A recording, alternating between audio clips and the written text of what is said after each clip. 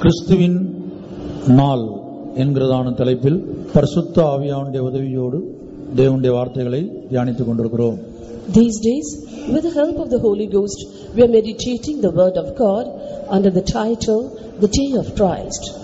பிலிப்பியர் ஒன்னாம் அதிகாரம் பதினொன்னாம் வசனத்தை வாசிப்போம் Let's read Philippians chapter 1, verse 10 in English.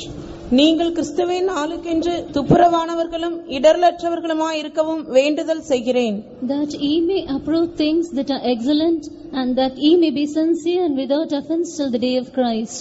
கர்த்தருடைய பரிசுத்த நாமத்திற்கு மகிமை உண்டாகட்டும் Glory be to God's holy name. நீங்கள் கிறிஸ்துவின் நாளுக்கென்று துப்புரவானவர்களும் இடரல் அற்றவர்களுமாய் இருக்கும்படி வேண்டுதல் செய்கிறேன் I pray that you may be sincere and without offense till the day of Christ. கிறிஸ்துவின் நாள் என்பது கத்தராகி இயேசு கிறிஸ்துவின் ரகசிய வருகையை காண்பிக்கிறது The day of Christ shows the secret coming of our Lord Jesus Christ. கத்தராகி இயேசு கிறிஸ்துவனுடைய ரகசிய வருகை ஒரு நியாய தீர்ப்பாக காணப்படுகிறது The secret coming of our Lord Jesus Christ will be a judgment. ஒரு கூட்ட விசுவாசிகள் அல்லது அபிஷேகம் பண்ணப்பட்ட தேவ ஜனங்கள் நியாயம் விசாரிக்கப்பட்டு அல்லது நியாயம் தீர்க்கப்பட்டு எடுத்துக்கொள்ளப்படுகிறார்கள் ஒரு கூட்ட அபிஷேகம் பண்ணப்பட்ட ஜனங்கள் நியாயம் விசாரிக்கப்பட்டு அல்லது நியாயம் தீர்க்கப்பட்டு கைவிடப்படுகிறார்கள் A group of an anointed people of God will be judged on the day and will be taken up, whereas another group of the children of God who are anointed will be judged and will be left behind. கிறிஸ்துவின் நாள் அபிஷேகம் பண்ணப்பட்ட எல்லா கிறிஸ்தவர்களுக்கும் அது ஒரு சந்தோஷமான நாளாய் இராது The day of Christ will not be a day of gladness to all the anointed children of God. ஒரு கூட்டத்தாருக்கு அது மிகுந்த துக்கத்துக்கு எதுவான பரிதவிக்கக்கூடியதான ஒரு நாளாக காணப்படும் For to another group of the anointed people of God, it will be a day of great sorrow and a pitiable day. ஏனென்றால் இயேசுவின் ரகசிய வருகையில் அல்லது கிறிஸ்துவின் நாளில் அவர்கள் கைவிடப்பட்டு போகிறபடினால் அந்த நாள் அவர்களுக்கு பரிதவிக்கக்கூடிய நாளாக மாறியிருக்கும் For on the day of Christ, that is during the secret coming of Jesus Christ, they will be left behind. Therefore, it will be a day where they will be pitied. அப்படியானால் கிறிஸ்துவின் நாளில் யார் எடுத்துக்கொள்ளப்பட முடியும் If that be the case, who then shall be caught up on the day of Christ? இங்கே அப்போஸ்தலன் ரெண்டு விதமான சுபாவங்களை குறித்து குறிப்பிடுகிறார் Here apostle specifies two natures. முதலாவதாக நீங்கள் கிறிஸ்துவின் நாளுக்கென்று துப்புரவானவர்களாய் இருக்க வேண்டும் First, we have to be sincere for the day of Christ. துப்புரவு என்கிறதான வார்த்தை மூல பாஷையாகிய கிரேக்க பாஷையில் இலிக்ரினேஸ் என்று எழுதப்பட்டிருக்கிறது The Greek translation for the word sincere is illikrines. இலிக்ரினேஸ் என்கிறதான கிரேக்க வார்த்தைக்கு கிரேக்க வேத ஆராய்ச்சியாளர்கள் நான்கு முக்கியமான அர்த்தங்களை கொடுத்திருக்கிறார்கள் The Greek biblical scholars have given four important meanings for the term illikrines. முதல் அர்த்தமாக ஜட்ஜ்டு பை சன்லைட் அதாவது சூரிய ஒளியால் அல்லது சூரிய கதிரால் நியாய விசாரிக்கப்படுவது அல்லது நியாயம் தீர்க்கப்படுவது The first meaning is judged by sunlight, that is being judged by the sunlight or by the sun rays. இரண்டாவது அர்த்தம் துப்புரவு என்ற வார்த்தைக்கு கிரேக்க பாஷையில் கொடுத்த இரண்டாவது அர்த்தம் tested as genuine The second meaning given in the Greek translation for the term sincere is tested as genuine. அதாவது கத்தராகிய இயேசு கிறிஸ்துவின் ரகசிய வருகையின் போது அவருடைய ரகசிய வருகையிலே எடுத்துக் கொள்ளப்படுகிறவர்கள் இயேசுவனுடைய அதே தெய்வீக குணாசிலத்தை பெற்றிருக்கிறார்களா உண்மையாகவே இயேசுவின் மாதிரி அவருடைய வாழ்க்கையில் அது சாயல் அதே ரூபம் அவர்களுடைய வாழ்க்கையில் உண்டாயிருக்கிறதா என்று சோதித்து பார்த்து எடுத்துக் கொள்ளப்படுகிறார்கள் That is during the secret coming of Lord Jesus Christ and that is the day of Christ. It will be found out, tested and found out if they are exactly the impression of Jesus Christ or if they are just faking. அது நான் அடிக்கடி சொல்வது போல இப்போது நமக்கு ஒரு SSLC certificate நாம் xerox எடுக்கிறோம் என்று வைத்துக் கொண்டால் அந்த ஒரிஜினல் சர்டிபிகேட்ல என்ன இருக்கிறதோ அதே காரியம் தான் ஜெராக்ஸ் காப்பியில் இருக்கிறது. For example, when we take the Xerox copy of our SSLC certificate, we get all the details in the Xerox which is found in the original. இயேசு கிறிஸ்து ஒரிஜினலா இருக்கிறார் அவருடைய ரகசிய வரியில் எடுத்துக் கொள்ளப்படுகிறவர்கள் அவருடைய ஜெராக்ஸாய் மாறி இருக்க வேண்டும். Lord Jesus Christ is the original and those who are to be caught up in the secret coming should become his Xerox. ஒன்றியவான் மூன்றாம் அதிகாரம் இரண்டு மூன்று வசனங்கள் First John chapter 3 verses 2 and 3. பிரியமானவர்களே இப்பொழுது தேவனுடைய பிள்ளைகளாய் இருக்கிறோம் இனி எவ்விதமாய் இருப்போம் என்று இன்னும் வெளிப்படவில்லை ஆகிலும் அவர் வெளிப்படும் போது அவர் இருக்கிற வண்ணமாகவே நாம் அவரை தரிசிப்பதினால் அவருக்கு ஒப்பாய் இருப்போம் என்று அறிந்திருக்கிறோம் அவர் மேல் இப்படிப்பட்ட நம்பிக்கை வைத்திருக்கிறவன் எவனும் அவர் சுத்தமுள்ளவராய் இருக்கிறது போல தன்னையும் சுத்திகரித்துக் கொள்ளுகிறான் Beloved, now are we the sons of God, and it doth not yet appear what we shall be. And we know that when he shall appear, we shall be like him, for we shall see him as he is. And every man that hath this hope in him purifieth himself, even as he is pure. ஆகிலும் அவர் வெளிப்படும் போது அவர் இருக்கிற வண்ணமாகவே அவரை தரிசிப்பதினால் But when he shall appear, we shall see him as he is. அவர் எப்படி இருக்கிறாரோ அதுபோல நாம் அவரை தரிசிக்க வேண்டும் அவருக்கு ஒப்பாய் மாற வேண்டும் We have to see him as he is and we should become like him. அடுத்த வசனத்திலே சொல்லுகிறார் அவர் மேல் இப்படிப்பட்ட நம்பிக்கை வைத்திருக்கிறவன் எவனோ And in the next verse he says, And every man that had this hope in him அவர் சுத்தமுள்ளவராய் இருக்கிறது போல தன்னையும் சுத்திகரித்துக் கொள்கிறான் purifieth himself even as he is pure. ஆகவே தேவனுடைய பிள்ளைகளாகிய நமக்கு ஒரு நம்பிக்கை உருவாக வேண்டியது அவசியமாயிருக்கிறது Therefore we children of God should develop a hope. அந்த நம்பிக்கை என்ன What is that hope? நான் இந்த உலகத்தில் எப்படி ஜீவித்தாலும் இயேசு இரக்கமுள்ளவர் இயேசு அன்புள்ளவர் அவருடைய வருகையின் போது என்னை எடுத்துக்கொள்வார் என்கிற நம்பிக்கை நமக்கு இருக்கக்கூடாது We should never have the hope saying, Jesus is merciful, Jesus is loving, so I can lead a life as it pleaseth me, but anyhow Jesus will take me when he comes.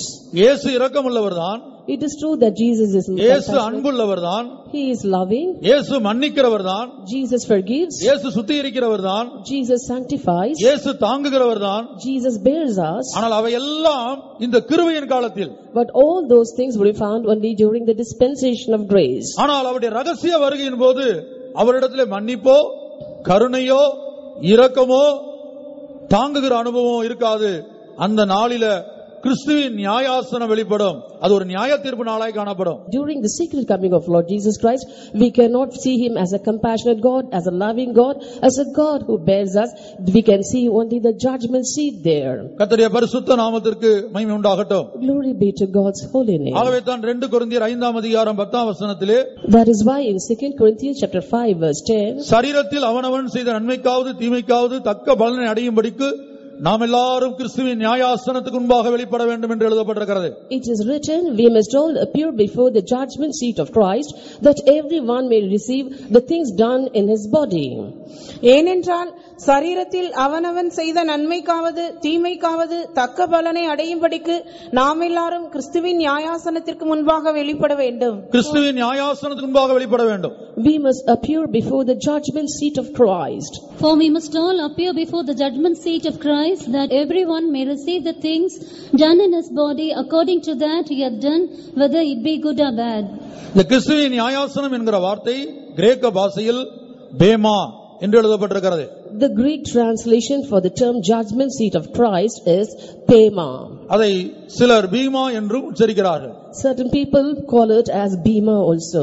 அதற்கு சில முக்கியமான அர்த்தங்கள் கொடுக்கப்பட்டிருக்கிறது Certain important meanings have been given even for that term. Judgment seat என்று ஒரு அர்த்தம் A s- meaning is judgment seat. Tribunal என்று ஒரு அர்த்தம் கொடுக்கப்பட்டிருக்கிறது Another meaning has been given as tribunal. அடுத்து ஃபுட் பிரெத் என்று ஒரு அர்த்தம் கொடுக்கப்பட்டிருக்கிறது And the third meaning has been given as footbreadth. பிரதானமாக அவர்கள் குறிப்பிடுவது foot breath The most important meaning is footbreadth. அதாவது கத்தராகிய இயேசு கிறிஸ்துவனுடைய காலடி எப்படி இருக்கிறதோ அதே போன்று அவருடைய காலடி சுவடுகளை யார் பின்பற்றினார்களோ அவர்கள்தான் அவருடைய வருகையில் எடுத்துக்கொள்ளப்பட முடியும் In short, we can say, those who have followed the footprints of Lord Jesus Christ alone can be taken up in his secret coming. ஆகவே தான் பேதுரு அப்போஸ்தலன் இதை குறித்து சொல்லும்போது That is why Apostle Peter says, ஒன்று பேதுரு இரண்டாம் அதிகாரம் இருபத்தி ஒன்னாம் வசனத்தில் இப்படி சொல்லுகிறார் he says so in 1 Peter chapter 2 verse 21. இதற்காக நீங்கள் அழைக்கப்பட்டும் இருக்கிறீர்கள் ஏனெனில் கிறிஸ்துவும் உங்களுக்காக பாடுபட்டு நீங்கள் தம்முடைய அடிச்சுவடுகளை தொடர்ந்து வரும்படி உங்களுக்கு மாதிரியை பின்வைத்து போனார் For even hereunto were ye called, because Christ also suffered for us, leaving us an example that ye should follow his steps. Foot breath அதாவது அவருடைய அடி அவருடைய காலடி அந்த காலடியை அல்லது அவருடைய அடி சுவடுகளை பின்பற்றி ஜீவித்த ஒரு அபிஷேகம் பண்ணப்பட்ட கூட்டம் மாத்திரமே அவருடைய ரகசியவர்கள் எடுத்துக் கொள்ளப்படுகிறார்கள் That is uh, only the anointed group of people who have exactly followed his footsteps alone will be caught up in a secret coming. அதைத்தான் இங்கே பேதுரு குறிப்பிடுகிறார் That is what Apostle Peter says. நீங்கள் தம்முடைய அடிச்சுவடுகளை தொடர்ந்து வரும்படி உங்களுக்கு மாதிரியை பின்வைத்து போனார் He left you an example that you should follow his footsteps. அப்ப அவருடைய அடிச்சுவடுதான் மாதிரியா இருக்கிறது His footstep is the sample for us. அவர் கடந்து சென்ற இந்த உலகத்தில் அவர் கடந்து சென்ற அதே பாதைதான் எடுத்துக்கொள்ளப்படுகிற கிறிஸ்தவனுக்கு ஒரு மாதிரியாய் அவர் வைத்துவிட்டு போயிருக்கிறார் Jesus Christ has kept his example, that is, the same steps or the same way is taken for the people of God who are going to be raptured in a secret coming. ஆகவே அருமையான தேவனுடைய பிள்ளையே கிறிஸ்துவின் நாள் என்பது அல்லது இயேசுவின் ரகசிய வருகை என்பது ஒரு பெருங்கூட்டத்தாருக்கு துக்க நாளாக காணப்படும் So dearly beloved, the secret coming of Lord Jesus Christ or the day of Christ will be a day of great sorrow for a great multitude of people. கர்த்தருடைய பரிசுத்த நாமத்திற்கு மகிமை உண்டாகட்டும் Glory be to God's holy name. இரண்டாவது அர்த்தமாக tested as genuine என்று பார்க்கிறோம் மூன்றாவது அர்த்தம் பியோர் என்று எழுதப்பட்டிருக்கிறது The second meaning we saw was tested as genuine. Now we are passing on to the third meaning that is pure. அதாவது சுத்தம் அல்லது பரிசுத்தம் என்று அதற்கு மொழிபெயர்த்திருக்கிறார்கள் They have given it as pure or clean. அவர் எப்படி சுத்தமாக இருக்கிறாரோ As he is pure, அதுபோல நாம் சுத்தமாய் மாற வேண்டும் we also have to purify ourselves. அதைத்தான் ஒன்று யோவான் மூன்றாம் அதிகாரம் மூன்றாம் வசனத்திலே வாசிக்க கேட்டோம் That is what we read in 1 John chapter 3 verse 3. அவர் சுத்தமுள்ளவராய் இருக்கிறது போல Even as he is pure, அவருடைய வருகையில எடுத்துக் கொள்ளப்படுகிறவனும் சுத்தமுள்ளவனாய் தன்னை சுத்திகரித்துக் கொண்டு மாற வேண்டும் those who are going to be caught up in a secret coming has to purify themselves and become pure. நான்காவதாக அந்த துப்புரவு என்கிற வார்த்தைக்கு கிரேக்க வேத ஆராய்ச்சல் கொடுத்த அர்த்தம் உண்மை என்பதாகும் The fourth meaning given for sincere by the Greek biblical scholars is true or sincere. கிறிஸ்து எப்படி உண்மையுள்ளவராய் இருக்கிறாரோ அதுபோல அவருடைய ரகசியவர்கள் எடுத்துக் கொள்ளப்படுகிறவர்கள் உண்மையுள்ளவர்களாய் காணப்பட வேண்டும் Those who are going to be caught up in the secret coming of Christ should be faithful as Christ was also faithful. கிறிஸ்து உண்மையுள்ளவராய் காணப்பட்டார் என்று எபிரேயர் மூன்றாம் அதிகாரம் ஆறாம் வசனத்திலே வாசிக்கிறோம் In Hebrews chapter 3 verse 6 we read that Christ was faithful. கிறிஸ்துவோ அவருடைய வீட்டிற்கு மேற்பட்டவரான குமாரனாக உண்மையுள்ளவராயிருக்கிறார் அவர் எப்படி உண்மையுள்ளவராய் இருக்கிறாரோ As he is faithful, அதுபோல நாமும் உண்மையுள்ளவர்களாய் மாற வேண்டும் similarly we should also become faithful. கர்த்தருடைய பரிசுத்த நாமத்துக்கு உண்டாகட்டும் Glory be to God's holy name. அவர் உண்மையுள்ளவராய் இருக்கிறது போல நாம் உண்மையுள்ளவர்களாய் மாற வேண்டும் We have to become faithful even as he is faithful. வெளிப்படுத்தின விசேஷம் பதினேழாம் அதிகாரம் பதினான்காம் வசனத்தில் அங்கே நாம் பார்க்கிறோம் இயேசுவின் ரகசிய வருகையில் எடுத்துக் கொள்ளப்பட்டவர்களுக்கு மூன்று முக்கியமான சுபாவங்கள் அங்கே காணப்படுகிறது. In Revelation chapter 17 verse 14 we see that those who are going to be caught up in the secret coming of Jesus will have three important natures. இவர்கள் ஆட்டுக்குட்டியானவருடனே யுத்தம் பண்ணுவார்கள். ஆட்டுக்குட்டியானவர் கர்த்தாதி கர்த்தரும் ராஜாதி ராஜாவுமாய் இருக்கிறபடியால் அவர்களை ஜெயிப்பார். அவரோடு கூட இருக்கிறவர்கள் அழைக்கப்பட்டவர்களும் தெரிந்து கொள்ளப்பட்டவர்களும் உண்மையுள்ளவர்களுமாய் இருக்கிறார்கள் என்றான். These shall make war with the Lamb, and the Lamb shall overcome them. For he is Lord of lords and King of kings, and they that are with him are called and chosen and faithful. இங்கே இயேசுவின் ரகசிய வருகையில் எடுத்துக் கொள்ளப்பட்ட ஜெயங்கொண்ட பரிசுத்தவான்களை குறித்து தான் எழுதப்பட்டிருக்கிறது Here it is written about the victorious saints who will be caught up in the secret coming of Jesus. Armageddon யுத்தத்தில் அந்தி கிறிஸ்துவோடும் அவனுடைய சேனைகளோடும் யுத்தம் பண்ணும்படியாக கத்தராகிய இயேசு கிறிஸ்து வருகையில் எடுத்துக் கொள்ளப்பட்ட பரிசுத்தவான்களை அழைத்துக் கொண்டு இந்த பூமிக்கு இறங்கி வருவார்.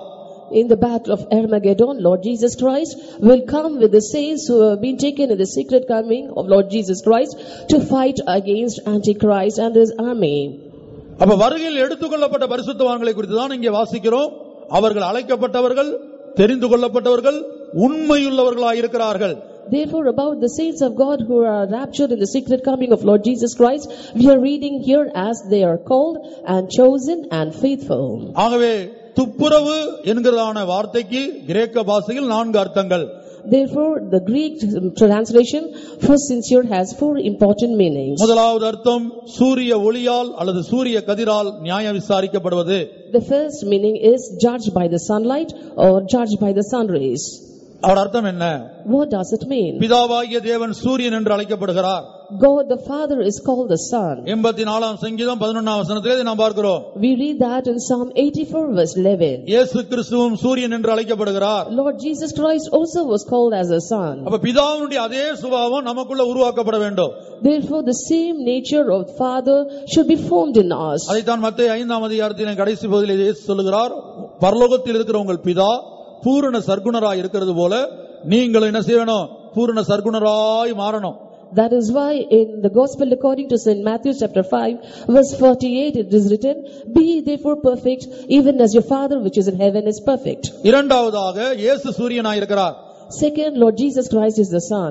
இயேசுடைய திவ்ய சுபாவங்கள் நமக்குள்ளே உருவாக்கப்பட வேண்டும் The divine natures of Jesus Christ should be formed in us. கர்த்தருடைய பரிசுத்த நாமத்துக்கு மகிமை உண்டாகட்டும் Glory be to God's holy name. இரண்டாவதாக டெஸ்டடஸ் genuine The second meaning is tested as genuine. அதாவது கத்தராகிய இயேசு கிறிஸ்துடைய அதே அனுபவங்கள் அவருடைய தலை எப்படி இருக்கிறதோ அதுபோல நம்முடைய தலை மாற வேண்டும் That is the same experiences of Lord Jesus Christ should be found in us. That is our head should become as the head of Lord Jesus Christ. அவருடைய கண்கள் எப்படி இருக்கிறதோ அதுபோல நம்முடைய கண்கள் மாற வேண்டும் Our eyes should change like the eyes of Lord Jesus Christ. அவருடைய கன்னங்கள் எப்படி இருக்கிறதோ அதுபோல நம்முடைய கன்னங்கள் மாற வேண்டும் Our cheeks also should become similar to the cheeks of Lord Jesus Christ. நாம் கடந்த நாட்களிலே கத்தராகிய இயேசு கிறிஸ்துவுடைய தலை எப்படி இருக்கிறது அவருடைய கண்கள் எப்படி இருக்கிறது அவருடைய கன்னங்கள் எப்படி இருக்கிறது என்பதை நாம் தியானித்தோம் In the past weeks we meditated how the head of Lord Jesus Christ was and next we meditated how the eyes of Jesus were and finally we meditated about the cheeks of Jesus. உன்னத பாட்டு ஐந்தாம் அதிகாரம் பதினொன்னாம் வசனத்தில் அவருடைய தலை எப்படி இருக்கிறது என்று பார்க்கிறோம் In Song of Solomon chapter 5 verse 11 we see how his head was. பனிரெண்டாம் வசனத்தில் அவருடைய கண்கள் எப்படி இருக்கிறது என்று பார்க்கிறோம் In verse 12 we saw how his eyes are. பதிமூன்றாம் வசனத்தில் அவருடைய கன்னங்கள் எப்படி இருக்கிறது என்று கடந்த வாரத்தில் நாம் பார்த்தோம் In the past week we meditated about his cheeks from verse 13. வாசிப்போம் பதிமூன்றாம் வசனம் Verse 13. அவர் கன்னங்கள் வந்தவர்க்க பாத்திகளைப் போலவும் வாசனையுள்ள புஷ்பங்களைப் போலவும் இருக்கிறது அவர் உதடுகள் லீலி புஷ்பங்களைப் போன்றது வாசனையுள்ள வெள்ளை போலம் அதிலிருந்து வடிகிறது His cheeks are as a bed of spices, as sweet flowers. His lips like lilies dropping sweet smelling myrrh. இன்றைய தினத்தில் அவருடைய உதடுகளை குறித்து நாம் தியானிக்க போகிறோம் Today we are going to meditate about his lips. அவர் உதடுகள் லீலி புஷ்பங்களை போன்றது His lips were like lilies, வாசனையுள்ள வெள்ளை போலம் அதிலிருந்து வடிகிறது dropping sweet smelling myrrh. பொதுவாக லீலி புஷ்பமானது பள்ளத்தாக்குகளின் பகுதியிலே தான் அதிகமாய் வளரக்கூடியதா இருக்கிறது Generally, lilies are found in abundance in the valleys. உன்னத பாட்டு இரண்டாம் அதிகாரம் ஒன்னாம் வசனம் Song of Solomon chapter 2 verse 1. நான் சாரோனின் ரோஜாவும் பள்ளத்தாக்குகளின் லீலி புஷ்பமுமாயிருக்கிறேன் I am the rose of Sharon and the lily of the valleys. பள்ளத்தாக்குகள்ல தான் இந்த லீலி புஷ்பமானது அதிகமாய் வளரக்கூடியதா இருக்கிறது So lilies are found in abundance in the valleys. அப்படியானால் இதனுடைய ஆவிக்குரிய அர்த்தம் என்ன What is the spiritual significance of this? பள்ளத்தாக்குகள் தாழ்மையான அனுபவத்தை காட்டுகிறது Valleys show a lowly experience. அப்ப நம்முடைய உதடுகள் தாழ்மையான நிலவரத்திலே காணப்பட வேண்டும் So our lips also should be found in that lowly experience. மறுபக்கத்தில் லீலி புஷ்பம் என்று சொல்லும்போது அது ஒருவித செடியை வந்து முள்ளினால் குத்தும் போதோ அல்லது கசக்கி பிழியும் போதோ இந்த வெள்ளை போலம் அதிலிருந்து வருகிறது Next, when we say of a lily, if it is pierced by a thorn or if it is squeezed, myrrh is dropping out of it. அப்ப மற்றவர்களால் குத்தப்படும் போது மற்றவர்களால் காயப்படுத்தப்படும் போது மற்றவர்களால் கசக்கி பிழியப்படும் போது நாம் வாசனை உள்ளவர்களாய் காணப்பட வேண்டும் Therefore, when we are pricked by others, when we are squeezed by others, we should show a fragrance. மறுபக்கத்துல அந்த லீலி புஷ்பம் அந்த வெள்ளை போலத்தினுடைய தன்மையானது அது கசப்பானதா இருக்கிறது Another um, uh, significance of this myrrh is it is bitter. கர்த்தருடைய பரிசுத்த நாமத்திற்கு மகிமை உண்டாகட்டும் Glory be to God's holy name. கர்த்தராகிய இயேசு கிறிஸ்துவுடைய உதடுகள் லீலி புஷ்பத்தை போன்று காணப்பட்ட சில சம்பவங்களை நான் உங்களுக்கு முன்பாக வைக்க விரும்புகிறேன் I like to place before you certain instances where the lips of our Lord Jesus Christ were found like lilies. லூக்கா இருபத்தி மூன்றாம் அதிகாரத்தை நான் வாசிக்கும் போது When we read in the Gospel according to Luke chapter 23, ரோம போர் சேவகர்கள் மூலமாக கர்த்தராகிய இயேசு கிறிஸ்து குத்தப்பட்டார் காயப்படுத்தப்பட்டார் கசக்கி பிழியப்பட்டார் Lord Jesus Christ's spirit was wounded and squeezed by the Roman soldiers. அந்த சந்தர்ப்பத்திலே அவர் யாரால் காயப்படுத்தப்பட்டாரோ யாரால் சவுக்கினால் அடி- அடிக்கப்பட்டாரோ அது யார் அவருடைய தலையிலே முள்ளின் கிரீடத்தை சூட்டினார்களோ அவருடைய மொத்த சரீரமும் யாரால் வாதிக்கப்பட்டதோ அவர்களுக்காக பிதாவை நோக்கி அவருடைய உதடுகள் வேண்டிக் கொண்டது At the same time, for the people who wounded him, for the people who squeezed him, for the people who scourged him, and for the people who placed a crown of thorns upon his head and persecuted him, he was praying unto the Father you by his lips. லூக்கா இருபத்தி மூன்றாம் அதிகாரம் முப்பத்தி ஒன்னு முப்பத்தி நான்கு Luke chapter 23 verses 31 and 34. பச்சை மரத்துக்கு இவைகளை செய்தால் பட்ட மரத்துக்கு என்ன செய்ய மாட்டார்கள் என்றார் அப்பொழுது இயேசு பிதாவே இவர்களுக்கு மன்னியும் தாங்கள் செய்கிறது இன்னதென்று அறியாதிருக்கிறார்களே என்றார் For if they do these things in a green tree, what shall be done in a dry? And th- then said Jesus, Father, forgive them, for they know not what they do. கர்த்தருடைய பரிசுத்த நாமத்துக்கு உண்டாகட்டும் Glory be to God's holy name. இயேசு என்ன சொல்லுகிறார் பிதாவே தாங்கள் செய்கிறது இன்னதென்று இவர்கள் அறியாதிருக்கிறார்கள் Jesus said, Father, they know not what they do. இவர்களுக்கு மன்னியும் Forgive them. எப்படி அந்த லீலி புஷ்பத்தை முள்ளினால் குத்தும் போது அல்லது கிழிக்கும் போது அல்லது கசக்கி பிழியும் போது ஒரு வெள்ளை போலம் வாசனை உள்ள வெள்ளை போலம் வருகிறதோ? As myrrh or a fragrant myrrh comes out of a lily when it is pierced or torn or squeezed, lily புஷ்பமானது முள்ளுகளினால் காயப்படுத்தப்படுவது போல. As a lily is being wounded by a thorn. Lily புஷ்பத்துக்கு ரெண்டு அனுபவம். Two experiences of lily. ஒன்று அது பள்ளத்தாக்குகளிலே அதிகமாய் காணப்படுகிறது One, it is found in abundance in the valleys. அந்த பள்ளத்தாக்குகளின் மத்தியிலே எந்த இடத்தில் அந்த லீலி புஷ்பம் காணப்படுகிறது என்று நாம் தியானிப்போமானால் If we meditate the place exactly where the lily is found in the valley, ஆ, அதிகமான முள்ளுகளுக்கு நடுவிலே தான் அது காணப்படுமா it is found mostly among the thorns. ஆகவே தான் தன்னை மணவாட்டியை குறித்து மணவாளன் சொல்லும்போது That is why when the bridegroom was describing about the bride, முள்ளுகளுக்குள்ளே lily புஷ்பம் எப்படி இருக்கிறதோ குமாரத்திகளுக்குள்ளே எனக்கு பிரியமானவளும் அப்படியே இருக்கிறாள் as a lily among the thorns, my beloved is among the daughters. வாசிப்போம் உன்னத பாட்டு ரெண்டு ரெண்டு Song of Solomon 2 2. முள்ளுகளுக்குள்ளே லீலி புஷ்பம் எப்படி இருக்கிறதோ அப்படியே குமாரத்திகளுக்குள்ளே எனக்கு பிரியமானவளும் இருக்கிறாள் As the lily among the thorns, so is my love among the daughters. முள்ளுகளுக்குள்ளே லீலி புஷ்பம் எப்படி இருக்கிறதோ குமாரத்திகளுக்குள்ளே எனக்கு பிரியமானவளும் அப்படியே இருக்கிறாள் As a lily among thorns, so is my love among the daughters. சுற்றிலும் புற்கள் காணப்படுகிறது நடுவில் இந்த மென்மையான லீலி புஷ்பம் காணப்படுகிறது ஒரு காற்று அடிக்கிறது என்று வையுங்கள் அது எந்த திசையில் அடித்தாலும் இது எந்த பக்கம் சாய்ந்தாலும் என்ன செய்யும் முள்ளு இதை குத்தும் இப்படி சாஞ்சாலும் குத்தும் இப்படி சாஞ்சாலும் குத்தும் இப்படி சாஞ்சாலும் குத்தும் இப்படி சாஞ்சாலும் குத்தும் The lily is compassed by thorns round about. When there is even a gentle breeze, the lily will naturally bend on the direction of the breeze and it will be pricked by thorns on that side. ஆகவே தான் கத்தராக இயேசு கிறிஸ்து தான் கடந்து போன பாதையை குறித்து மாத்திரம் அந்த இடத்துல பேசாமல் தன்னை பின்பற்றி வருகிறவர்களை பார்த்து சொல்லுகிறார் பச்சை மரமாகிய எனக்கே இந்த பாடானால் பட்ட மரமாகிய உங்களுக்கு அவர்கள் என்ன செய்வார்கள் உங்களுக்கு இதை காட்டில் அதிகமான பாடுகள் உண்டு That is why Lord Jesus Christ did not say only about himself, but he also told to the people who were following him saying, For if they do these things in a green tree, what shall be done in the dry? That is, you will have to re- experience more problems than me. அப்ப கத்தராகிய இயேசு கிறிஸ்து அந்த lily புஷ்பம் முள்ளுகளால் குத்தி காயப்படுத்தப்படும் போது ஒரு வாசனை கொடுப்பது போல இயேசுவும் தன்னை காயப்படுத்தின ரோம போர்ச்சவர்கள் தன்னை சிலுவிலை அறைந்த ரோம போர்ச்சவர்கள் தன்னை முகத்திலே காரி துப்பினவர்கள் இவர்களுக்காக பிதாவே இவர்களுக்கு மன்னியும் தாங்கள் செய்கிறது இன்னதென்று இவர்கள் அறியாது இருக்கிறார்கள் என்று ஜெபிக்கக்கூடியவராய் காணப்பட்டார். As the lily which was being hurt by the thorns was giving out a fragrant smell, similarly Lord Jesus Christ also when he was persecuted by the Roman soldiers and spat upon, he also prayed to the Father saying, Father forgive them for they know not what they do.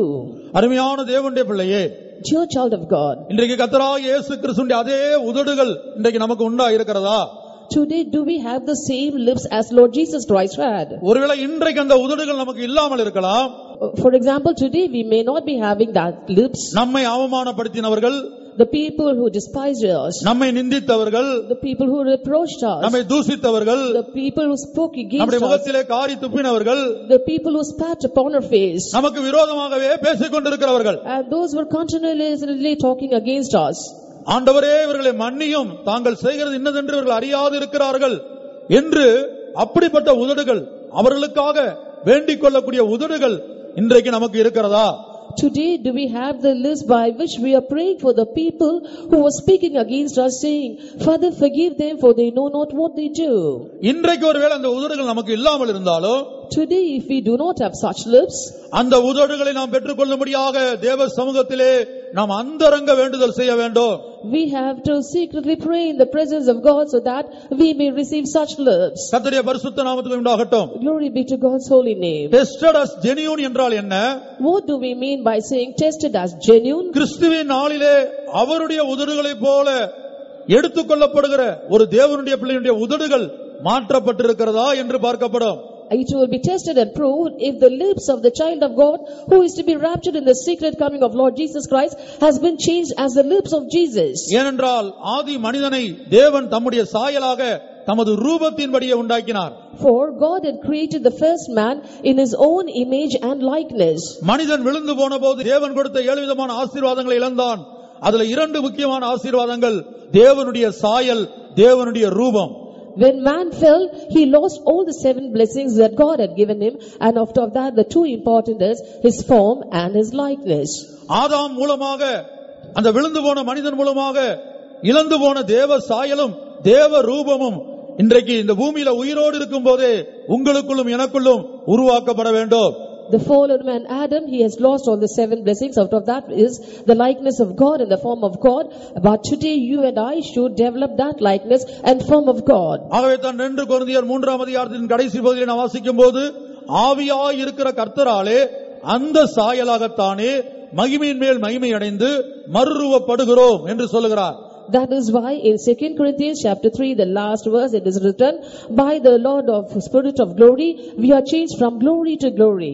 அவருடைய சாயலாக நாம் மறுரூபப்பட வேண்டும் We have to be changed to His likeness. அவரை போல நாம் மாற வேண்டும் We have to change like Him. கிறிஸ்துவின் நாள்ல டெஸ்ட் பண்ணி பார்க்கும்போது அவருடைய அதே அவயங்கள் நமக்கு உண்டா இருக்க வேண்டும் When we are tested on the day of Christ, each member of a body should be exactly like the members of the body of Jesus. இயேசுனுடைய அதே உதடுகள் நமக்குள்ள உண்டா இருக்க வேண்டும் We should have the same lips as Jesus had. நம்மை துன்பப்படுத்தினவர்கள் Those who have troubled us, நம்முடைய பெயரை கெடுத்தவர்கள் those who slandered our name, நம்மேல் அவாண்டமான பழியை சுமத்தினவர்கள் those who leveled uh, false allegations against us, நம்முடைய ஆவிக்குரிய வாழ்க்கைக்கு முள்ளாகவே காணப்பட்டுக் கொண்டிருக்கிறவர்கள் those who are always a thorn in our spiritual life. பிதாவே தாங்கள் செய்வது என்னதென்று இவர்கள் அறியாது இருக்கிறார்கள் Father, they know not what they do.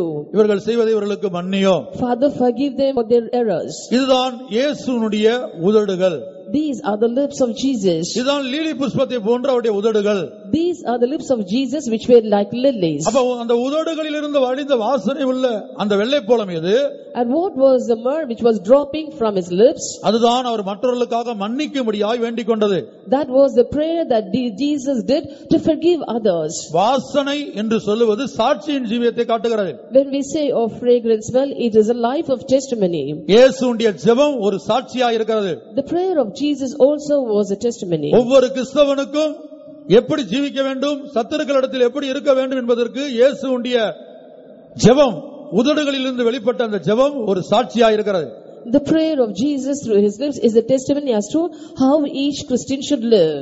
கர்த்தருடைய பரிசுத்த நாமத்துக்கு உண்டாகட்டும் Glory be to God's holy name. இனி இரண்டாவதாக இயேசு அவருடைய உதடுகள் லீலி புஷ்பத்தை போன்று காணப்பட்டதற்கு ஆதாரமாக மற்றொரு வேத பகுதி Another reference from the scripture to show that the lips of Jesus Christ were like lilies. கர்த்தருடைய பரிசுத்த நாமத்துக்கு மகிமை உண்டாகட்டும் Glory be to God's holy name. மத்தேயு இருபத்தி ஆறாம் அதிகாரம் முப்பத்தி எட்டு முப்பத்தி ஒன்பது வசனங்களை நான் வாசிக்கும் போது When we read Matthew chapter 26 verses 38 and 39, அப்பொழுது அவர் என் ஆத்துமா மரணத்துக்கு எதுவான துக்கம் கொண்டிருக்கிறது? நீங்கள் இங்கே தங்கி என்னோட கூட விழித்திருங்கள் என்று சொல்லி சற்று அப்புறம் போய் முகம் குப்புற விழுந்து என் பிதாவே இந்த பாத்திரம் என்னை விட்டு நீங்க கூடுமானால் நீங்கும்படி செய்யும். ஆகிலும் என் சித்தத்தின்படி அல்ல உம்முடைய சித்தத்தின்படியே ஆக கடவது என்று ஜெபம் பண்ணினார். Then saith he unto them, My soul is exceeding sorrowful, even unto death. Tarry ye here and watch with me. And he went a little farther and fell on his face and prayed, saying, O my father, if it be possible, let this cup pass from me. Nevertheless, not as I will, but as thou wilt. என் ஆத்துமா மரணத்துக்கு எதுவான துக்கம் கொண்டிருக்கிறது My soul is exceeding sorrowful even unto death. அதுதான் வெள்ளை போலத்தின் அனுபவம் That is the experience of myrrh. அவருடைய வாயிலிருந்து புறப்பட்ட வார்த்தைகள் என்ன What were the words that proceeded from his mouth? பிதாவே இந்த பாத்திரம் என்னை விட்டு நீங்க கூடுமானால் Father, if it be possible, let this cup pass away from me. அப்ப அந்த பாத்திரம் கசப்பான ஒரு பாத்திரமாய் காணப்படுகிறது That cup was bitter.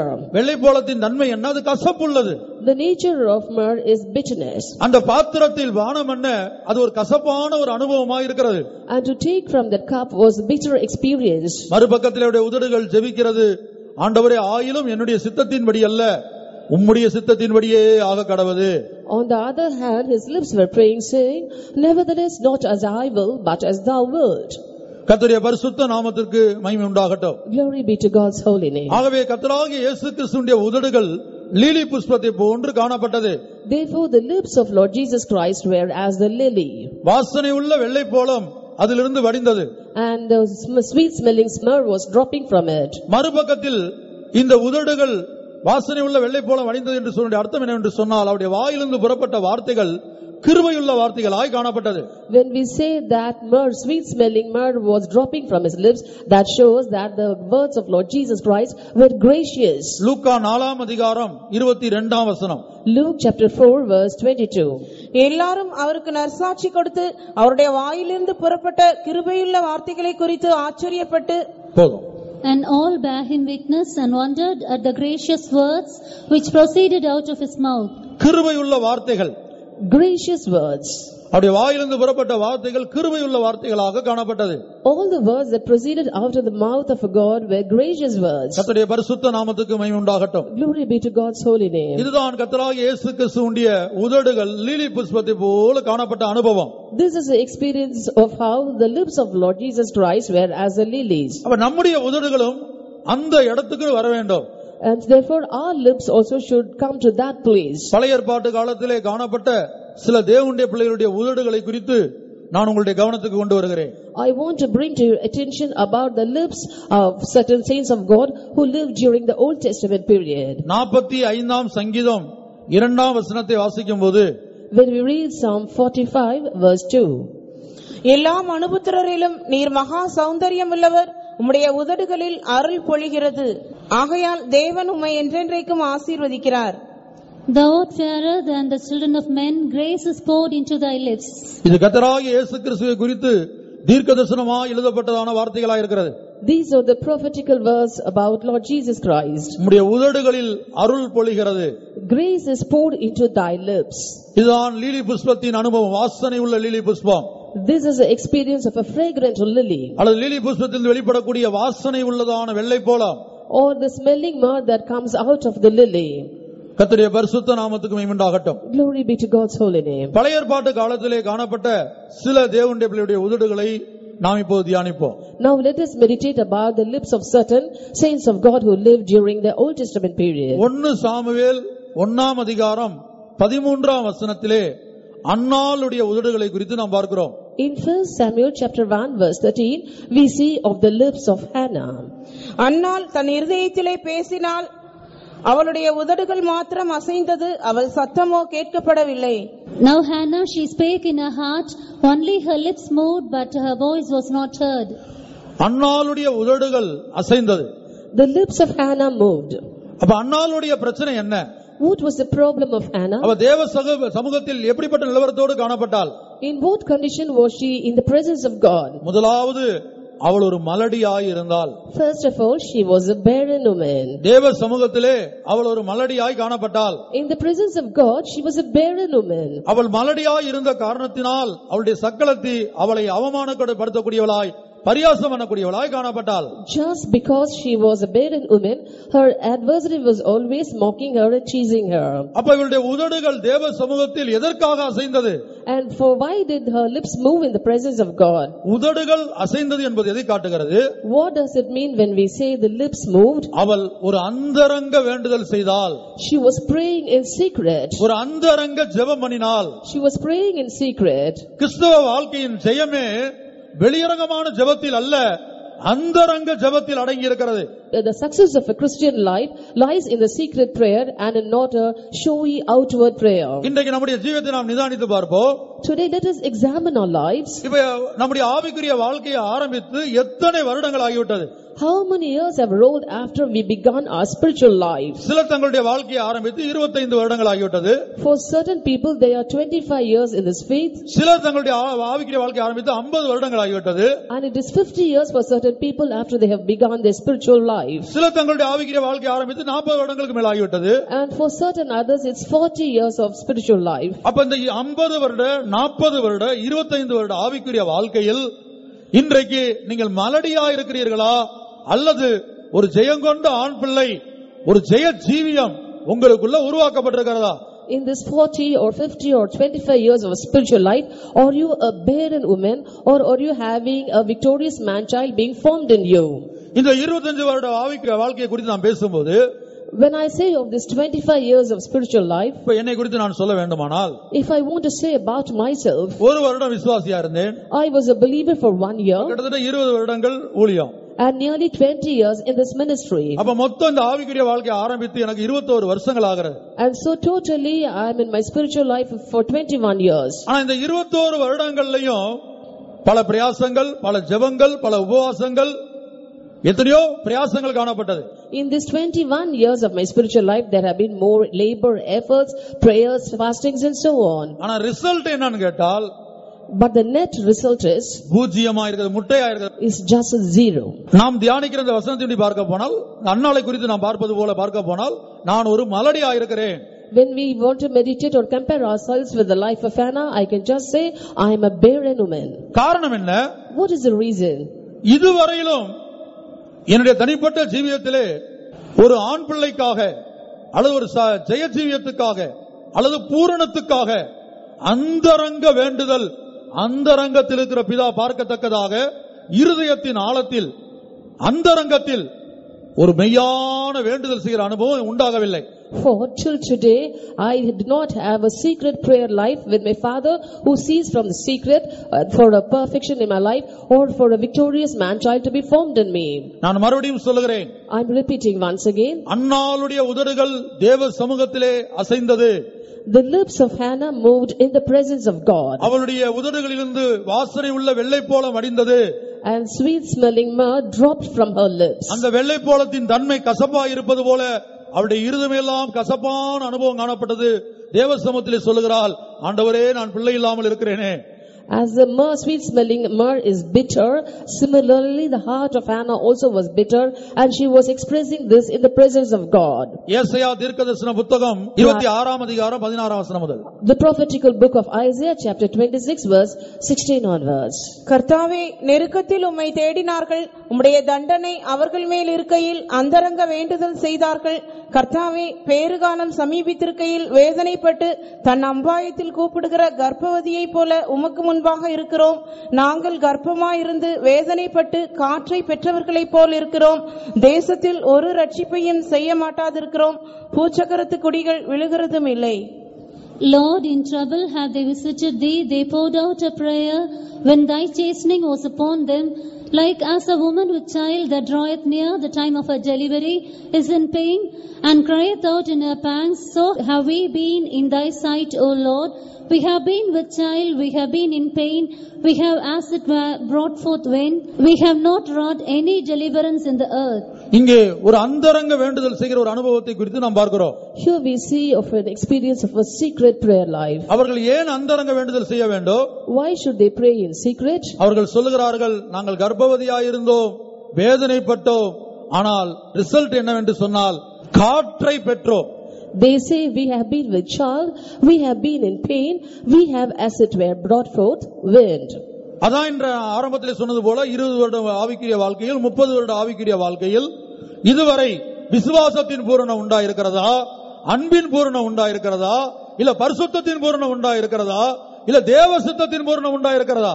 That is what in the beginning itself I asked you, in this 20 years of spiritual life, what have you received? Have you received perfection in faith, or perfection in love, or perfection in holiness, or perfection in doing the will of God? நான் ஒவ்வொரு பூரணத்தையும் ஒரு ஆண் பிள்ளைக்கு ஒப்பாக சொல்லுகிறேன் I'm telling, e- comparing each perfection to a man child. நாம் அடைய வேண்டிய ஒவ்வொரு தெய்வீக குணாசலத்தையும் ஒரு ஆண் பிள்ளைக்கு நான் ஒப்பிடுகிறேன் I'm comparing the every divine nature that we have to attain to a man child. அப்ப கர்ப்பவதியாய் இருந்தோம் வேதனைப்பட்டோம் விசுவாசத்தின் பூரணம் என்கிற ஆண் பிள்ளையை இந்த இருபது வருட இருபத்தோரு வருட ஆவிக்குரிய வாழ்க்கையில் பெற்றெடுத்திருக்கிறோமா?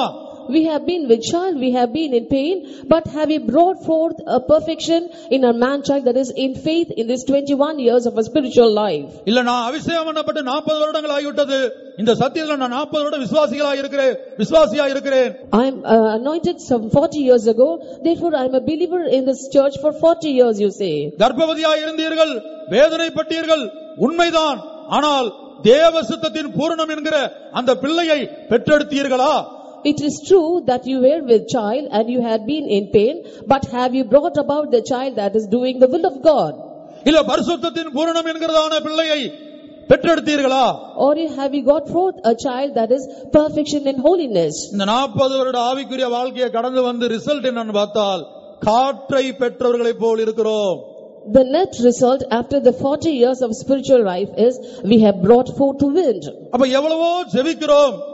எவ்வளவோ எத்தனையோ நாட்கள் உபவாசம் எடுக்கிறோம். எத்தனையோ காரியங்கள்ல ஜெயத்துக்காக தவிக்கிறோம். ஆனா இதுவரை ஜெய ஜீவியம் என்கிற ஒரு ஆண் பிள்ளை சகல ஜாதிகளையும் இருப்புக்கோளால் ஆளுகை செய்கிற அந்த ஜெய ஜீவியம் என்கிற ஒரு ஆண் பிள்ளை நமக்குள் உருவாகவில்லை. We pray much, we fast much and we yearn also struggle much, but till now we haven't brought forth a victorious man child which shall rule all the nations with a rod of iron. அதற்கு ரெண்டு காரணங்கள். Two uh, reasons for that. ஒன்று தேவனுடைய தண்டனை நம்மேல் காணப்படுகிறது First, the retribution of God is found upon us. இரண்டாவது தேவ அந்தரங்கத்தில் இருக்கிற பிதா பார்க்கத்தக்கதாக நம்முடைய அந்தரங்கத்தில் ஒரு அந்தரங்கமான வேண்டுதல் உண்டாகவில்லை Second, in our secret life, we never had a secret prayer towards God who sees from secret. நான் சொல்லுகிற சத்தியத்தை உங்களால் விளங்கிக் கொள்ள முடிகிறதா Are you able to understand the truth told by me? ஒன்று ஏன் நாம் இன்னும் ஒரு ஜெய ஜீவியத்தை அல்லது ஒரு பரிசுத்தத்தின் பூரணத்தை விசுவாசத்தின் பூரணத்தை தேவ சித்தத்தின் பூரணத்தை தேவ அன்பின் பூரணத்தை இதுவரை நாம் ஏன் எட்டவில்லை அடையவில்லை Why haven't yet we received that victorious life that is perfection in love, perfection in doing the will of God, perfection in faith, and perfection in holiness? நாற்பது வருடம் ஆவிக்குரிய வாழ்க்கை வாழ்ந்திருக்கிறோம் We have lived a spiritual life for 40 years. முப்பது வருடம் ஆவிக்குரிய வாழ்க்கை வாழ்ந்திருக்கிறோம் We have lived a spiritual life for 30 years. ஏதாயிலும் ஒரு ஆண் பிள்ளை ஏதாயிலும் ஒரு பூரணம் இன்றைக்கு நம்முடைய வாழ்க்கையில் உண்டாயிருக்கிறதா Have we attained at a perfection in at least one aspect? அதுக்கு காரணம் என்ன What is the reason? மலடியாய் காணப்படுகிறோம் We are barren women. தேவனுடைய தண்டனை அவர்கள் மேல் இருக்கையில் When the punishment of God is upon them, இப்ப தேவனுடைய தண்டனை தான் மலட்டுத்தன்மை the punishment of God is the barrenness. நம்முடைய மலட்டு தன்மையை தேவன் நீக்கினால்தான் நமக்குள்ள இந்த பூரணம் ஜெய ஜீவியம் என்கிறதான ஆண் பிள்ளை உருவாகும் Only when the barrenness is removed from us, there will be perfection or the victorious man child being formed in us. நான் மறுபடியும் சொல்லுகிறேன் I'm repeating once again. மலட்டு தன்மை என்பது தேவன் நமக்கு கொடுத்ததான ஒரு தண்டனை Barrenness is the divine retribution. அதற்கு சில உதாரணங்களை நான் சொல்லுகிறேன் I'll give you certain examples for that. இப்ப ராகேல் யாக்கோபை பார்த்து கேட்கிறாள் Rachel asked unto Jacob, பிள்ளை கொடும் இல்லாவிட்டால் சாகிறேன் Give me a child or else I die. ஆதியாகமம் முப்பதாம் அதிகாரம் முதல் இரண்டு வசனங்களிலே அதை நாம் படிக்கிறோம் We read that in Genesis chapter 30, the first two verses. ராகேல் ஒரு மலடியா இருந்தாள் Rachel was barren. மறுபக்கத்துல அவ ஒரு பெரிய Rupavati On the other hand, she was very pretty. அவளிடத்துல விசேஷம் எத்தனையோ காணப்பட்டது There were many special qualities found in her. ஆனா அதே வேளையில அவள் ஒரு மலடியா இருந்தாள் At the same time, she was barren. ராகேலுடைய வாழ்க்கையில காணப்பட்ட அந்த மலட்டு தன்மையானது தேவன் அவளுக்கு கொடுத்த தண்டனையா இருக்கிறது The barrenness that was found in Rachel was a, a punishment given by God. இப்ப பாருங்க ராகேல் தன்னுடைய கணவனை பார்த்து கேட்கிறாள் பிள்ளை கொடும் இல்லாவிட்டால் சாகிறேன் Rachel asked unto her husband, Give me children, or else I die. அதற்கு யாக்கோபு சொல்லுகிற பதிலை கவனித்து பாருங்கள் And listen to the answer given by Jacob. தேவன் அல்லவோ உன் கர்ப்பத்தை அடைத்திருக்கிறார் நான் தேவனா Am I in God's stead who hath withheld from thee the fruit of the womb? ஆதியாகமம் முப்பதாம் அதிகாரம் முதல் ரெண்டு வசனங்கள். Genesis chapter 30, the first two verses. ராகேல் தான் யாக்கோபுக்கு பிள்ளைகளை பெறாததை கண்டு தன் சகோதரியின் மேல் பொறாமை கொண்டு யாக்கோபை நோக்கி எனக்கு பிள்ளை கொடும் இல்லாவிட்டால் நான் சாகிறேன் என்றாள். அப்பொழுது யாக்கோபு ராகேலின் மேல் கோபம் கொண்டு தேவனல்லவோ உன் கர்ப்பத்தை அடைத்திருக்கிறார் நான் தேவனா? என்றான். And when Rachel saw that she bare Jacob no children, Rachel envied her sister and said unto Jacob, Give me children or else I die. And Jacob's anger was kindled against Rachel, and he said, Am I in God's stead, who hath withheld from thee the fruit of the womb? இங்கே ராகேல் வந்து யாக்கோபை விவாகம் பண்ணி கொஞ்ச நாட்கள் ஜீவிக்கிறார் சில வருஷங்கள் Rachel and Jacob were married for a few years. அப்ப அவனோட ஜீவிச்சு பிள்ளைகள் பெறாததை கண்டபோது And she had lived with him, and after she found that she bare him no children, பிள்ளை கொடும் இல்லாவிட்டால் சாகிறேன் என்று சொல்லுகிறாள் she told unto him, Give me children, or else I die. இப்ப நாம் யாரோடு ஜீவித்துக் கொண்டிருக்கிறோம் Now with whom are we living? நீங்க சகோதரிகளா இருந்தாலும் சகோதரர்களா இருந்தாலும் அபிஷேகம் பண்ணப்பட்ட அத்தனை பேருமே கிறிஸ்துவுக்கு மனைவியா இருக்கிறோம் Be it sisters or brothers, everyone who has been anointed are the wife of Christ. அந்த பூமியில நீங்க ஆணா இருந்தாலும் பெண்ணா இருந்தாலும் Even though you're male or female on this earth, யாரெல்லாம் அபிஷேகம் பண்ணப்பட்டிருக்கீங்களோ all those who are anointed, அவங்க எல்லாருமே கிறிஸ்துவுக்கு மனைவியா இருக்கிறீங்க அபிஷேகம் பண்ணப்பட்ட உனக்கும் எனக்கும் கிறிஸ்து புருஷனா இருக்கிறார் everybody are the wife of Christ, and Christ is the husband for you and me who are anointed. இப்ப என்னுடைய வாழ்க்கை எடுத்துக்கொண்டால் இருபத்தோரு வருஷம் கிறிஸ்து என்கிற புருஷனுக்கு நான் மனைவியா இருக்கிறேன் If you consider my life, I am the wife of Christ the husband for 21 years. இருபத்தோரு வருஷம் அவரோட நான் வாழ்க்கை நடத்திக்கிட்டு இருக்கிறேன் And I am leading a life with him for 21 years. ஆனா இந்த இருபத்தோரு வருஷ வாழ்க்கையில எனக்கு என்ன இல்ல பிள்ளைகள் இல்ல But this 21 years of my life with Christ, I am barren without children. ரெண்டு கொருந்தியர் பதினொன்னாம் அதிகாரம் இரண்டாம் வசனத்துல கிறிஸ்து நமக்கு புருஷன் என்றும் நாம் அவருக்கு மனைவி என்றும் பிறக்கிறோம் In 2 Corinthians chapter 11 verse 2, we see that Christ is our husband and we are his wife.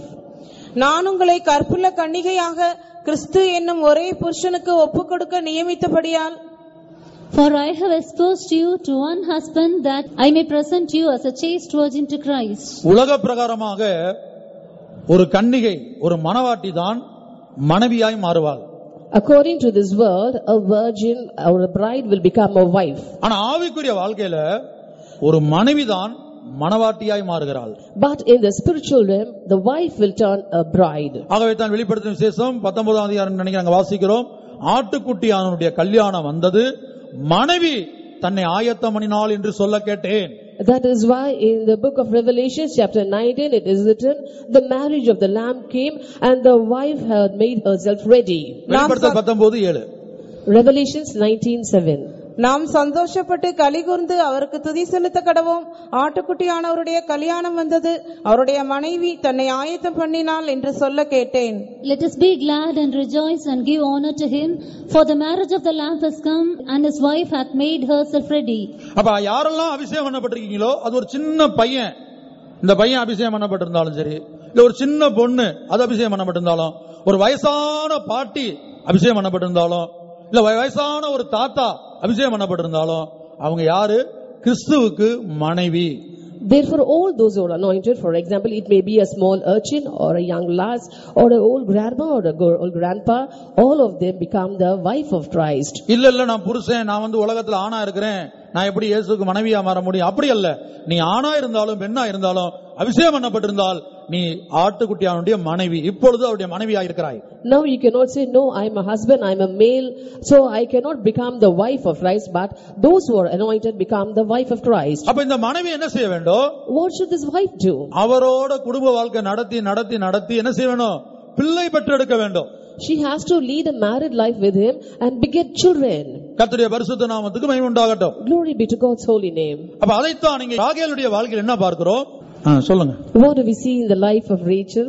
யாக்கோபோடு அவ குடும்பம் நடத்தி குடும்பம் நடத்தி ஒரு குறிக்கப்பட்ட காலம் காத்திருந்து பிள்ளைகள் பெறாததை கண்டபோது அவள் யாக்கோபிடத்துல சொல்றா பிள்ளை கொடும் இல்லாவிட்டால் சாகிறேன் She led a barren life for Jacob for a certain period of time, and later when she found that she did not bear him any children, she told unto him, Give me children, or else I die. இப்ப நம்ம அபிஷேகம் பண்ணப்பட்டு கிறிஸ்துவின் மனைவியா மாறி இருபத்தோரு வருட காலம் ஆகிவிட்டது Now we have received the anointing and become the wife of Christ for nearly 21 years. உங்களில் சிலருக்கு நாற்பது வருடம் ஆயிருக்கலாம் சிலருக்கு அறுபது வருடம் ஆயிருக்கலாம் Certain people would have 40 years as experience or 60 years as experience. நான் இந்த அனுபவத்தில் வந்து அறுபது வருடம் ஆகிவிட்டது என்பதுல ஒரு மேன்மை இல்ல There is no greatness in saying, it's been 60 years since I came to this experience. நீ கிறிஸ்து என்கிற புருஷனோடு குடும்பம் நடத்தி அவரோடு ஜீவித்து அவரோடு இணைந்து வாழ்ந்து பிள்ளைகளை பெற்றெடுத்திருக்கிறாயா Have you led a life, married life with Christ the husband and lived faithfully with him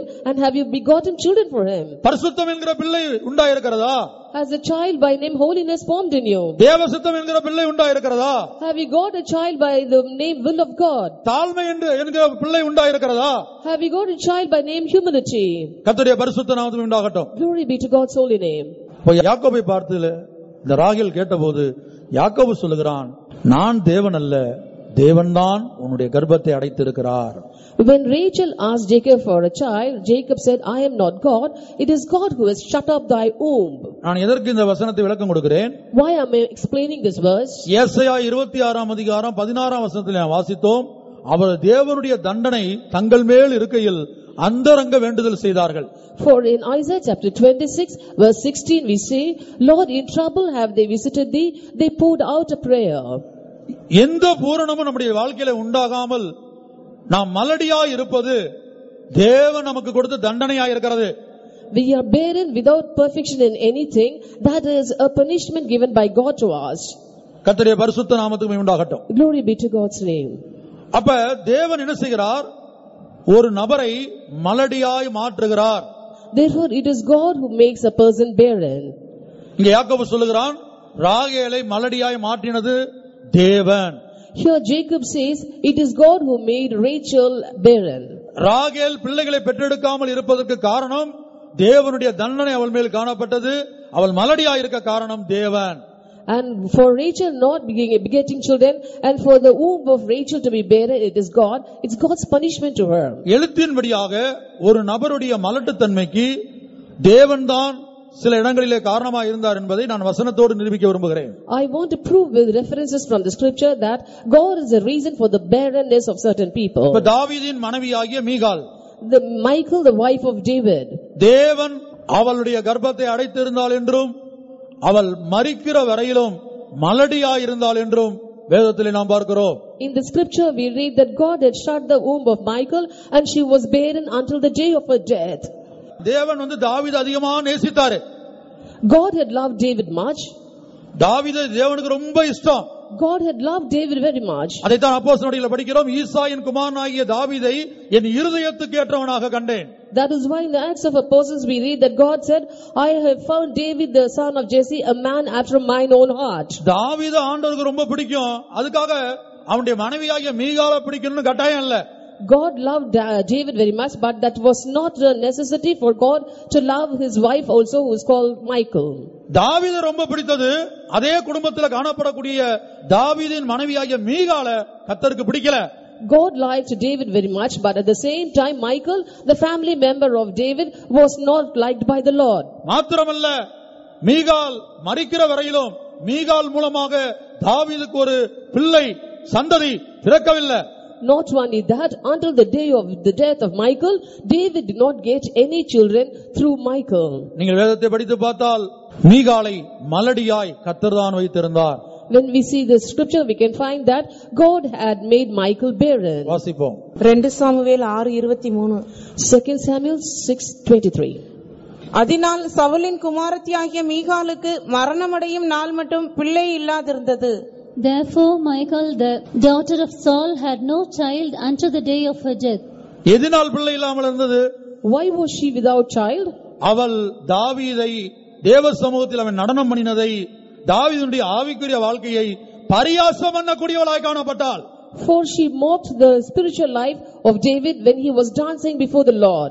நான் சொல்லுகிறேன் தேவனுடைய தண்டனை மலட்டுத்தன்மை I tell you, the punishment of God is barrenness. இந்த ஆவிக்குரிய வாழ்க்கையை ஆரம்பித்து நீங்கள் எத்தனை வருடம் என்று ஒரு கால்குலேட்டர் எடுத்து கணக்கு போட்டு பாருங்க You take a calculator and calculate the spiritual life of yours. மறுபக்கத்துல 50 வருஷ ஆவிக்குரிய வாழ்க்கையில நாற்பது வருஷ ஆவிக்குரிய வாழ்க்கையில நீங்க பெற்றெடுத்த தெய்வீக குணாசீலம் பெற்றெடுத்த பிள்ளைகள் எத்தனை விசுவாசத்தின் பூரணம் அன்பின் பூரணம் பரிசுத்தத்தின் பூரணம் தேவசத்தத்தின் பூரணம் On the other hand, in 40 years or 50 years of your, your spiritual life, how many children have you begotten?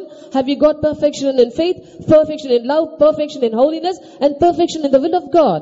நாற்பது வருடம் நாம் கிறிஸ்துவோடு ஒரு வாழ்க்கை வாழ்ந்து கிறிஸ்து புருஷனோடு ஒரு வாழ்க்கை வாழ்ந்து அல்லது இருபத்தோரு வருடம் கிறிஸ்தியன்கிற ஒரு புருஷனோடு ஒரு வாழ்க்கை வாழ்ந்து இன்னும் அவருடைய சுபாவம் நமக்கு பெற்றெடுக்க முடியவில்லை 40 years I have lived with the Lord, or 21 years I have lived with the Lord and led a married life, yet I have not begotten even one nature of Christ in me. அதற்கு காரணம் என்ன What is the reason for that? நான் மலடியாயிருக்கிறேன் I am barren. ஏன் நான் மலடியாயிருக்கிறேன் என்பதை நாம் ஆராய வேணும் We have to examine why we are barren. அதுதான் தேவன் நம்மேல் கொடுத்த தண்டனை That is the punishment of God upon us.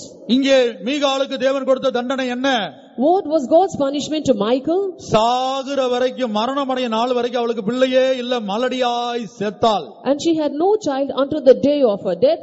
She died as a barren woman. இது தேவன் அவளுக்கு கொடுத்த தண்டனையா இருக்கிறது This is the punishment of God to her.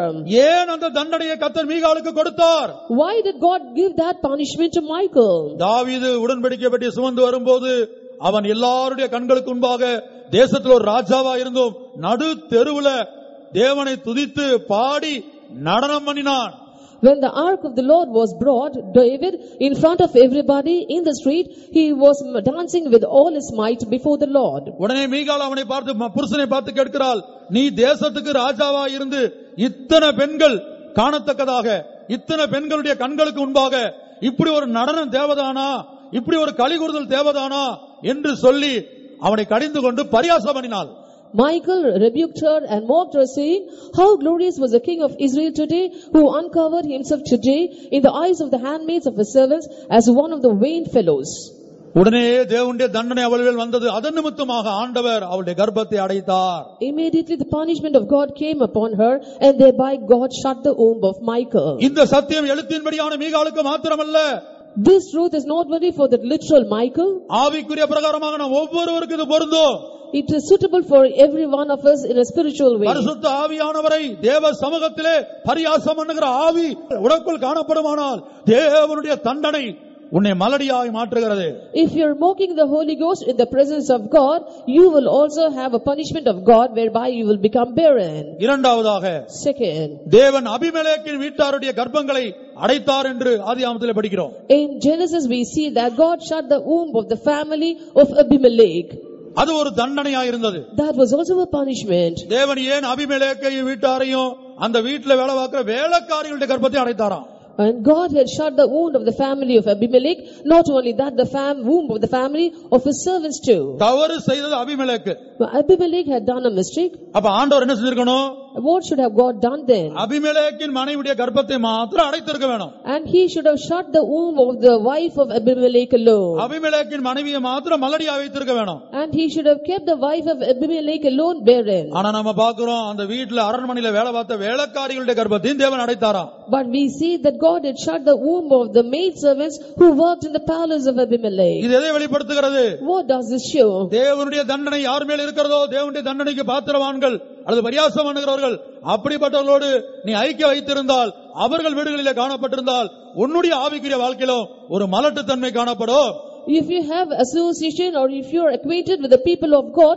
who have invited divine retribution, you also will be barren in your life. பின்மாற்றக்காரனோடு உனக்கு ஐக்கியம் இருக்குமானால் உபதேசத்துல பின்வாங்கி போனவனோடு And if you have a fellowship with the people who have backslidden in the doctrine, உபதேசத்தை புரட்டக்கூடியவர்களோடு those who are bending or twisting the doctrines, உனக்கு ஐக்கியம் உண்டாகுமானால் உன்னுடைய கர்ப்பத்தை கத்தர் அடைக்கிறார் உன்னை மலடியாய் வைத்திருக்கிறார் if you have association with them, God is making you barren and is shutting your womb.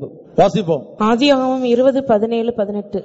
Genesis chapter 20 verse 17 and 18. ஆபிரகாமுடைய மனைவியாகிய சாராளி நிமித்தம் கர்த்தர் அபிமெலேக்குடைய வீட்டாரின் கர்ப்பங்களை எல்லாம் அடைத்திருந்தபடியால் ஆபிரகாம் தேவனை நோக்கி வேண்டிக் கொண்டான். அப்பொழுது தேவன் அபிமெலேக்கையும் அவன் மனைவியையும் அவன் வேலைக்காரிகளையும் குணமாக்கி பிள்ளை பெறும்படி அனுக்கிரகம் பண்ணினார். பிள்ளை பெறும்படி அனுக்கிரகம் பண்ணினார். And God made them to bear children. So Abraham prayed unto God, and God healed Abimelech and his wife and his maidservants, and they bare children, for the Lord hath fast closed up all the wombs of the house of Abimelech because of Sarah, Abraham's wife. அப்ப ஆபிராமுடைய மனைவியாகிய சாராய் நிமித்தம் சாராய வந்து அபிமெலேக்கு கடிந்து கொண்டான் Abimelech had rebuked Sarah. அது அபிமெலேக்கு தேசத்துக்கு ராஜாவா இருக்கலாம் அவன் பெரிய மனுஷனா இருக்கலாம் Abimelech may be a great man and a king of a nation also. Sarai செஞ்சது தப்பாவே இருக்கலாம் Maybe what Sarah did was a mistake. Abraham செஞ்சது தப்பாவே இருக்கலாம் And what Abraham did also might be a mistake. ஆனா அவனை குறை சொல்லவோ கண்டிக்கவோ அபிமெலேக்குக்கு அதிகாரம் கிடையாது But Abimelech did not have the authority to accuse or correct him. ஆனா அபிமெலேக்கு அவளை அவமானப்படுத்தினார் அவளை கடினமாய் அல்லது கண்டித்த போது But when Abimelech reproved her, சாராயை க- கடிந்து கொண்ட போது when he rebuked or reproved Sarah, அந்த ஒரு காரணத்துக்காக கத்தர் அபிமெலேக்கின் வீட்டாரையும் மனைவியையும் வேலைக்காரிகளுடைய கர்ப்பத்தை அடைத்தார் என்று நாம் பார்க்கிறோம் we read that for that one reason God had fast closed up all the wombs of the house of Abimelech, including his maidservants. அப்ப ஆபிரகாம் வேண்டிக் கொண்ட போது அந்த மலட்டுத்தன்மையை மாற்றி பிள்ளை பெறும்படி தேவன் அனுக்கிரமம் செய்தார் So when Abraham prayed, God changed away the barrenness and made them to bear children. அவ இதுல இருந்து என்ன தெரிகிறது From this, what do we understand? மலட்டு தன்மை என்பது தேவன் நமக்கு கொடுக்கிற தண்டனை Barrenness is a punishment that God gives us. கர்த்தருடைய பரிசுத்த நாமத்துக்கு உண்டாகட்டும் Glory be to God's holy name. மறுபக்கத்துல அந்த மலட்டு தன்மையை நீக்கி நமக்கு ஒரு பிள்ளையை அல்லது தெய்வீக குணாசிலத்தை பிள்ளையாக கொடுப்பது அதுவும் தேவனுடைய கிரியை On the other hand, removing the barrenness and making us beget children, that is getting the divine natures of God, is the work of God. நூத்தி பதிமூன்றாம் சங்கீதம் ஒன்பதாம் வசனம் Psalm 113 verse 9. மலடியை சந்தோஷமான பிள்ளை தாய்ச்சியாக்கி வீட்டிலே குடியிருக்க பண்ணுகிறார் அல்லேலூயா He maketh the barren woman to keep house and to be a joyful mother of children. Praise ye the Lord.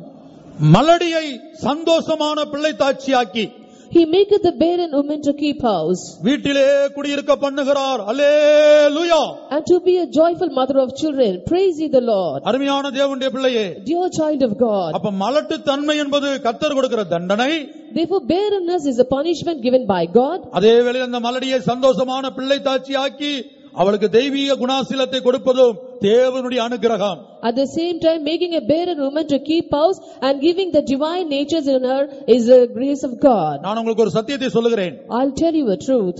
எழுத்தின்படியாக ஒரு குடும்பத்துக்கு ஒரு கணவன் மனைவிக்கு பிள்ளைகள் கொடுப்பது கத்தர் தான் எழுத்தின்படியாக Literally, it is God who gives children to a husband and wife. இப்ப விவாகமான எல்லாருக்கும் கணவன் மனைவி எல்லாருக்கும் குழந்தை இருக்கணும்னு சொன்னா இந்த உலகத்துல கல்யாணம் பண்ண எல்லாருக்கும் குழந்தை இருக்கணும் இன்னைக்கு எத்தனையோ பேர் குழந்தை இல்லாம இருக்கிறாங்க So today, if everyone married should have children, that means everybody in the world should have children, but we see many people are without children. அது ஒரு அனுபவம் That is one experience. இரண்டாவது ஆவிக்குரிய பிரகாரமாக Second, spiritually, அந்த பிள்ளையை கொடுப்பதும் கத்தர் தான் it is God who gives him children. இப்ப கிறிஸ்து என்கிற புருஷனோடு நாம் அபிஷேகத்தின் மூலமாக மனைவியாய் மாறி அவரோடு இந்த வாழ்க்கையை வாழ்ந்து கொண்டிருக்கிறோம் பல வருடங்களாக For the Christ husband, by the anointing we have become his wife and leading a life with him for many years. கிறிஸ்து என்கிற புருஷனுக்கு நாம் மனைவியா இருந்தாலும் அபிஷேகம் பண்ணப்பட்ட நம்மில் பலரும் அவருக்கு மனைவியா இருந்தாலும் இன்னும் பிள்ளை இல்லையே Even though we anointed people are the wife of Christ for many years,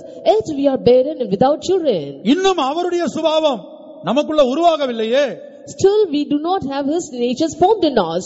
காரணம் என்ன What is the reason? நாம் மலடி என்பதை தேவ சமூகத்தில் ஒத்துக்கொள்ள வேண்டும் We have to accept in the presence of God that we are barren. அந்த மலட்டு தன்மை கத்த நம்மேல் கொடுத்த தண்டனை என்பதை நாம் விளங்கிக் கொள்ள வேண்டும் We have to understand that barrenness is the punishment that God has given to us. என்னென்ன காரணங்களுக்காக கத்தர் மலடியாய் மாற்றுகிறார் என்று நாம் வேதத்திலே பார்த்தோம் We saw the reasons as to why God kept certain people barren. மீகாலை ஏன் ஆண்டவர் மலடியாய் மாற்றினார் Why did God keep Michael barren?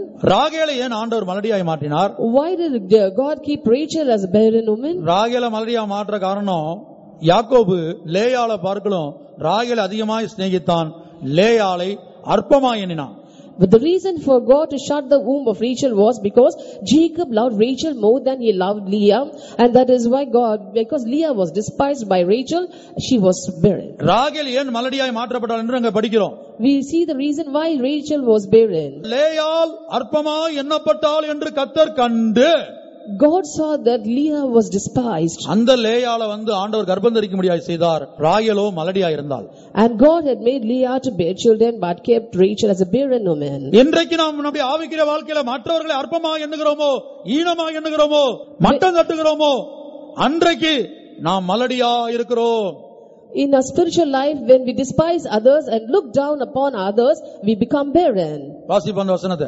ஆதியாகமம் இருபத்தி ஒன்பது முப்பத்தி ஒன்னு Genesis chapter 29 verse 31.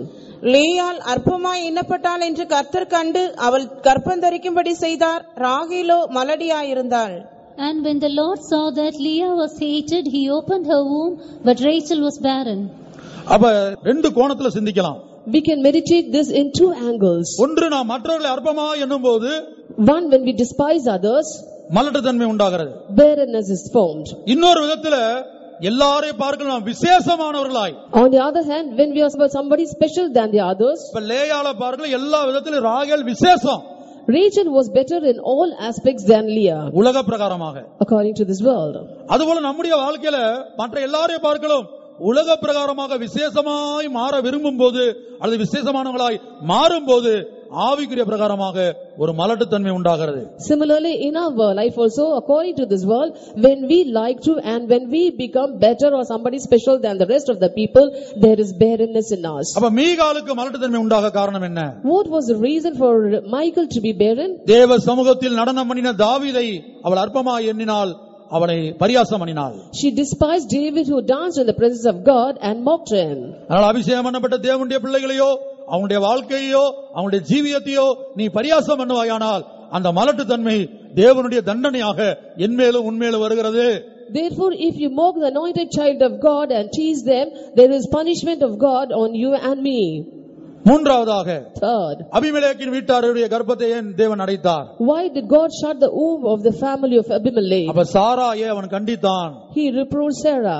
அபிமெலேக்கு வந்து சாராயே கண்டித்தான் Abimelech reproved அது Sarah ஆபிரகாமை கடி கடிந்து கொண்டான் and also rebuked Abraham. அப்ப அதனால ஆண்டவர் என்ன செய்தார் அவனுடைய அந்த வீட்டாருடைய கர்ப்பங்களை ஆண்டவர் அடைத்தார் Therefore, God closed அதுல. ரெண்டு காரியம் ஒன்று அபிமெலேக்குடைய மனைவியுடைய கர்ப்பத்தை அடைத்தார் அதனால Two uh, things happened thereby. One, he shut the womb of Abimelech's wife. தேவனுடைய தாசனை தேவனுடைய பக்தனை இந்த அபிமெலேக்கு கண்டித்தது நிமித்தம் அவனுடைய மனைவியை கடிந்து கொண்டது நிமித்தம் கத்தர் அபிமெலேக்கினுடைய மனைவியுடைய கர்ப்பத்தை அடைத்தார் Just because Abimelech reproved and rebuked Abraham, the saint of God, and his wife Sarah, God shut the womb of the wife of Abimelech. நீங்கள் இந்த உலகத்தில் அபிமெலேக்க போல எவ்வளவு பெரிய ஸ்தானத்தில் இருந்தாலும் அபிஷேகம் பண்ணப்பட்ட தேவனுடைய பிள்ளை ஊழியர்களுக்கு விரோதமாக நீங்கள் பேசினால் அவர்களை போய் நீங்கள் கடிந்து கொள்ளவோ கண்டிக்கவோ போனால் உங்களுடைய ஆவிக்குரிய வாழ்க்கையில மலட்டுத்தன்மை உண்டாகும் Even e- similarly in your life also, you may be in a great position and rank in this world, but you, if you like Abimelech, come to rebuke and reprove the saints of God, that same barrenness will set in your lives also. நான் மறுபடியும் இதை உயர்த்தி காண்பிக்க விரும்புகிறேன் I once again want to show you, கர்த்தருடைய பரிசுத்த நாமம் உண்டாகட்டும் glory be to God's holy name. ஆபிரகாமை கடிந்து கொண்டதுக்கும் ஆபிரகாமுடைய மனைவியை கடிந்து கொண்டதுக்குமே கத்தர் அபிமெலேக்கின் மனைவியுடைய கர்ப்பத்தை அடைத்திருந்தால் Had God closed the womb of the wife of Abimelech just because he rebuked and reproved Abraham and his wife Sarah, அபிஷேகம் பண்ணப்பட்ட தேவ ஊழியர்களுடைய ஊழியத்தில் தலையிடவோ அவர்களை கண்டிக்கவோ அல்லது அவர்களுக்கு கடிந்து கொள்ளவோ நீங்கள் போனால் If you go to reprove or scold or rebuke the anointed saints of God, தேவன் உங்களுடைய அந்த ஆவிக்குரிய வாழ்க்கையில் உங்களுடைய கர்ப்பத்தை அடைக்கிறார் மலட்டுத்தன்மை உண்டாகிறது God will close the womb in your spiritual life, thereby making you barren. கர்த்தருடைய பரிசுத்த நாமத்தும் உண்டாகட்டும் Glory be to God's holy அடுத்து name. நான்காவது ஒரு கூட்டத்தாரு மலடியா இருந்தார்கள் The, another fourth group also were barren. அவர்கள் யார் Who were they? அபிமெலேக்கின் வீட்டில் வேலை பார்த்த வேலைக்காரிகள் The maid servants in the house of Abimelech. அப்ப இவர்களுடைய வாழ்க்கையில ஏன் தேவனுடைய தண்டனை அவர்கள் மேல் வந்தது Why did the punishment of God come in their lives also? சேரக்கூடாத இடத்துல ஐக்கிய வைத்திருந்தார்கள் For they had a very wrong association. அபிமெலேக்குடைய வீட்டுல வேலை பார்த்த ஒரே காரணத்துக்காக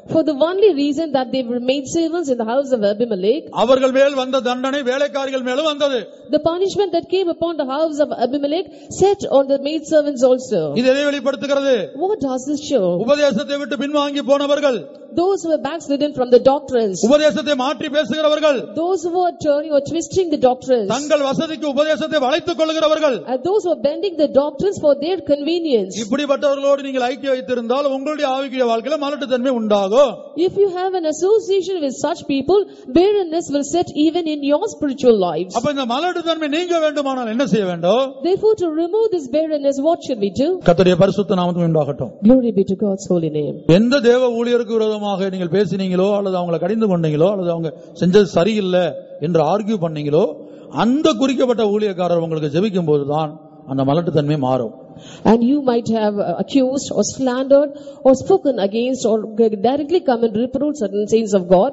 And that very sa- same saint of God should pray for you. Only then your barrenness will be removed. Abraham வேண்டிக் கொண்ட போது When Abraham prayed, அபிமெலேக்கின் வீட்டாருடைய அந்த மலட்டுத்தன்மை மாறினது God healed Abimelech's family. கத்தருடைய பரிசுத்த நாமத்துக்கு உண்டாகட்டும் Glory be to God's holy name. சங்கீதத்தில் நாம் படிக்கும்போது When we read in Psalm, மலட்டுத்தன்மை மாத்திரமல்ல கத்தர் கொடுக்கிற தண்டனை not only is barrenness the punishment from God, அந்த மலட்டுத்தன்மையை நீக்கி எழுத்தின்படியாக பிள்ளையை கொடுப்பதும் சரி ஆவிக்குரிய பிரகாரமாக தெய்வீக குணாசீலமாகிய பிள்ளையை கொடுப்பதும் சரி கத்தர் தான் to remove the barrenness and to give literal children as well as spiritual children, it is only by the Lord. இதை சங்கீதக்காரன் சொல்லும்போது பிள்ளைகள் கர்த்தரால் வரும் சுதந்திரம் கர்ப்பத்தின் கனி அவரால் கிடைக்கும் பலன் The psalmist says, The children are the heritage of the Lord, and the fruit of the womb is his reward. நூத்தி இருபத்தி ஏழாம் சங்கீதம் நாலாம் வசனம் Psalm 127, verse 3 in English. இதோ பிள்ளைகள் கர்த்தரால் வரும் சுதந்திரம் கர்ப்பத்தின் கனி அவரால் கிடைக்கும் பலன் Lo, children are an heritage of the Lord, and the fruit of the womb is his reward. இதோ பிள்ளைகள் கர்த்தரால் வரும் சுதந்திரம் Lo, children are an heritage of the Lord. இது எழுத்தின்படியாக இந்த வசனம் பொருந்தும் ஆவிக்குரிய பிரகாரமும் பொருந்தும் This verse will suit both spiritually and literally. கர்ப்பத்தின் கனி அவரால் கிடைக்கும் பலன் And the fruit of the womb is his reward. ஆவிக்குரிய பிரகாரமாக And spiritually, நமக்குள்ள அந்த பிள்ளை ஜெயங்கொண்ட ஆண் பிள்ளை உருவாக வேண்டுமானால் if a victorious man child is to be formed in us, நம்முடைய மலட்டுத்தன்மையை கத்தர் தான் நீக்க வேண்டும் it is God who has to remove our barrenness. இப்ப ஏசியா இருபத்தாறு பதினாறு படித்து பாருங்க Now read Isaiah chapter 26 verse 16. அன்னாளுடைய உதடுகள் தேவ சமூகத்தில் அசைந்தது The lips of Hannah moved in the presence of God, அவளுடைய வாயிலிருந்து வாசனை உள்ள வெள்ளை போல வடிந்தது and the sweet smelling myrrh dropped from her lips. அந்த உதடுகளிலிருந்து வாசனை உள்ள வெள்ளை போல வடிந்தது And the sweet smelling myrrh dropped from her lips. அது என்ன உள்ளத்தின் ஆழத்து அந்தரங்கத்திலிருந்து அவர் கதறுகிறாள் For she was crying out from the bottom of her heart, ஐயோ எனக்கு பிள்ளை இல்லையே Oh, I have no children. நீர் எனக்கு ஒரு பிள்ளையை கொடுத்தால் நான் உமக்கு கொடுப்பேன் If you give me a child, I will give it back to you. ஐயோ நான் மலடியா இருக்கிறேனே Oh, I'm barren.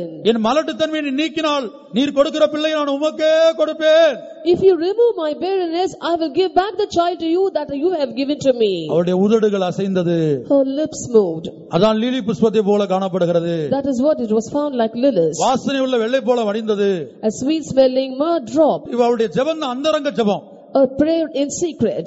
அவளுடைய ஜெபம் எப்படிப்பட்ட ஜெபம்? What kind of prayer was hers? அந்தரங்கத்தில் ஒரு தவிப்பு காணப்பட்டது. இருதயத்தில் வசனத்தை படித்து பாருங்க இருதயத்தை குறித்து எழுதப்பட்டிருக்கு. Here in this verse we can see uh, it was written about the heart. ஒன்னு சாமுவேல்ல வாசிங்க. In 1 Samuel ஒன்னு பதிமூணு. 113. அன்னாள் தன் இருதயத்திலே பேசினால் அவளுடைய உதடுகள் மாத்திரம் அசைந்தது அவள் சத்தமோ கேட்கப்படவில்லை. இருதயத்திலே பேசினாள் She speak in her heart, ஐயோ எனக்கு பிள்ளை இல்லையே. Oh, I have no children. நான் மலடியா இருக்கிறேனே I am barren. N சக்கலத்தினை அவமானப்படுத்துகிறாளே My adversary is despising me. இன்னும் எவ்வளவு காலம் நான் பிள்ளை இல்லாமல் இருக்க வேண்டும் ஆண்டவரே Oh Lord, how long should I continue without a child? நீர் எனக்கு ஒரு பிள்ளையை கொடுத்தால் அவனை நான் உமக்கே கொடுப்பேன் If you give me a child, I will give it back to அதோட you. அர்த்தம் என்ன What does it நான் mean? மலடியா இருக்கிறேன் I am barren. எனக்கு உள்ள பரிசுத்தம் இல்ல I don't have that holiness. நீர் எனக்கு ஒரு பரிசுத்தத்தை கொடுத்தால் If you give me holiness, அந்த பரிசுத்தத்தை நான் உமக்கே கொடுப்பேன் உம்முடைய நாமத்தின் மகிமைக்கே கொடுப்பேன் I will give that holiness for your glory. எனக்குள்ள ஜெயம் இல்ல I don't have that victory. எனக்கு நீர் ஜெயத்தை கொடுத்தால் If you give me victory, அந்த ஜெயத்தை நான் உமக்கே கொடுப்பேன் I will return back that victory to you. கர்த்தருடைய பரிசுத்த நாமத்தில் உண்டாகட்டும் Glory be to God's holy name. அப்ப நம்முடைய வாழ்க்கையில ஒரு வெளியரங்கமான ஜெபம் இருக்குது There is an outward showy prayer in our lives. ஆனா தேவன் பார்ப்பது என்ன But what does the Lord see? அந்தரங்கத்துல நாம் எப்படி வேண்டுதல் செய்கிறோம் How we pray in secret. மத்தேயு ஆறு ஆறுல ரெண்டு இடத்துல ஆண்டவர் அந்தரங்கத்தை குறித்து பேசுகிறார் மத்தேயு ஆறு ஆறு Matthew chapter 6 verse 6. நீயோ ஜெபம் பண்ணும்போது உன் அறை வீட்டுக்குள் பிரவேசித்து உன் கதவை பூட்டி அந்தரங்கத்தில் இருக்கிற உன் பிதாவை நோக்கி ஜெபம் பண்ணு அந்தரங்கத்தில் இருக்கிற ஒரு பிதாவை நோக்கி ஜெபம் பண்ணு And pray to the Father which is in secret. அப்பொழுது அந்தரங்கத்தில் பார்க்கிற உன் பிதா இங்க கவனிங்க அப்பொழுது அந்தரங்கத்தில் பார்க்கிற உன் பிதா And thy Father which seeth in secret. நீங்க ஜெபிக்கும் போது நான் ஜெபிக்கும் போது ஆண்டவர் வாயை பார்க்க மாட்டாரு When you and I pray, God won't see your mouth. நீங்க ஜெபிக்கும் போது நான் ஜெபிக்கும் போது ஆண்டவர் கண்ணை பார்க்க மாட்டாரு When you and I pray, God won't see our eyes. நீங்க ஜெபிக்கும் போது நான் ஜெபிக்கும் போது ஆண்டவர் என்ன செய்ய மாட்டாரு முகத்தை பார்க்க மாட்டாரு When you and I pray, God won't look at our face. நாம் ஜெபிக்கிற ஜெபம் எப்படி இருக்கிறது இப்ப பரிசுத்த வேணும் ஆண்டவரே பரிசுத்த வேணும் ஆண்டவரே நான் வாயில கேட்கிறேன் And how is our prayer? For example, I'm opening out my mouth and saying, Oh Lord, I want my holiness. ஆண்டவரே எனக்குள்ள இருக்க பெருமை மாறணும் பெருமை மாறணும்னு வாயில கேட்கிறேன் By my mouth, I'm asking, Oh Lord, change the pride from me. ஆண்டவரே இந்த உலகத்தை நான் வெறுக்கணும் உலகத்தை வெறுக்கணும் வாயில சொல்றேன் From my mouth, I'm uttering, saying, Lord, I must hate this world. நம்முடைய உதடுலயும் இந்த வாயில பேசுறோமே இது ஆண்டவர் பார்க்கல What we speak with our mouth, God doesn't look at. அந்த ரங்கத்துல இருதயத்தின் ஆழத்துல அந்த பரிசுத்தத்துக்காக உனக்குள்ள ஒரு தவிப்பு இருக்கிறதா And He is just seeing if we have a yearning from the bottom of our heart for that holiness. இருதயத்தின் ஆழத்துல பிதாவே தாங்கள் செய்கிறது இன்னதென்று அறியாது இருக்கிறார்கள் இவர்களுக்கு மன்னியும் என்று சொல்லி உன் சத்துருக்களை மன்னிக்க வேண்டும் என்னால மன்னிக்க முடியல ஆண்டவரே என்னால மற்றவங்களை மன்னிக்க முடியல எனக்கு மன்னிக்க உதவி செய்யணும் வாயில கேட்கறது இல்ல அந்த ரங்கத்தில் அந்த வாஞ்சை இருக்குதான் ஆண்டவர் பாக்குறாரு Not just opening out our mouth and saying, Lord, help me to forgive my enemies. I'm not able to forgive my enemies and so on. But God sees the bottom of our heart, for He wants to know if you're from the bottom of your heart saying, Father, forgive them, for they know not what they do. மத்திய ஆறு ஆறு மறுபடியும் வாசிப்போம் Let's read once again Matthew chapter 6 verse 6. நீயோ ஜெபம் பண்ணும்போது உன் அறை வீட்டுக்குள் பிரவேசித்து உன் கதவை பூட்டி அந்தரங்கத்தில் இருக்கிற உன் பிதாவை நோக்கி ஜெபம் பண்ணு அப்பொழுது அந்தரங்கத்தில் பார்க்கிற உன் பிதா வெளியரங்கமாய் உனக்கு பலன் அளிப்பார் But thou, when thou prayest, enter into thy closet, and when thou hast shut thy door, pray to thy Father which is in secret, and thy Father which seeth in secret shall reward thee openly. இருபத்தோரு வருட காலம் அபிஷேகம் பண்ணப்பட்டு கிறிஸ்து என்கிற புருஷனோடு இந்த வாழ்க்கைய இந்த விவாக பந்தத்தை வாழ்ந்து கொண்டிருக்கிற எனக்கு அல்லது உங்களுக்கு சில வருஷங்கள் வாழ்ந்து கொண்டிருக்கிற உங்களுக்கு எனக்கு அல்லது நமக்கு ஏன் இன்னும் பிள்ளை உண்டாகவில்லை For 21 years, after getting anointed, I have led a married life with my husband Christ. Until now, for me and for you, we haven't got children. What is the reason? பிள்ளை இன்னும் உண்- உண்டாகாததுக்கு காரணம் அல்லது பூரணம் இன்னும் உண்டாகாததுக்கு காரணம் நமக்கு நம்மேல எம் மேல உங்க மேல தேவனுடைய தண்டனை இருக்கிறது The reason for a child not being formed in you and me and for the perfection not being formed in you and me is the punishment of God is upon us. அது ஆவியில நிறையறவங்களையோ தீர்க்கதரிசனம் சொல்றவங்களோ அல்லது வேற ஆவிக்குடைய பிராரமா கழி விடுறவங்கள பார்த்து நம்ம பரியாசம் பண்ணதுனால உண்டான மலட்டுத்தன்மையா இருக்கலாம் It may be a barrenness because we have mocked the people who are getting filled in the spirit அல்லது லேயாலை அற்பமா என்னது நிமித்தமாக or else as Leah was hated. அல்லது உலக பிரகாரமாக விசேஷமானவளாய் மாறினது நிமித்தமாக.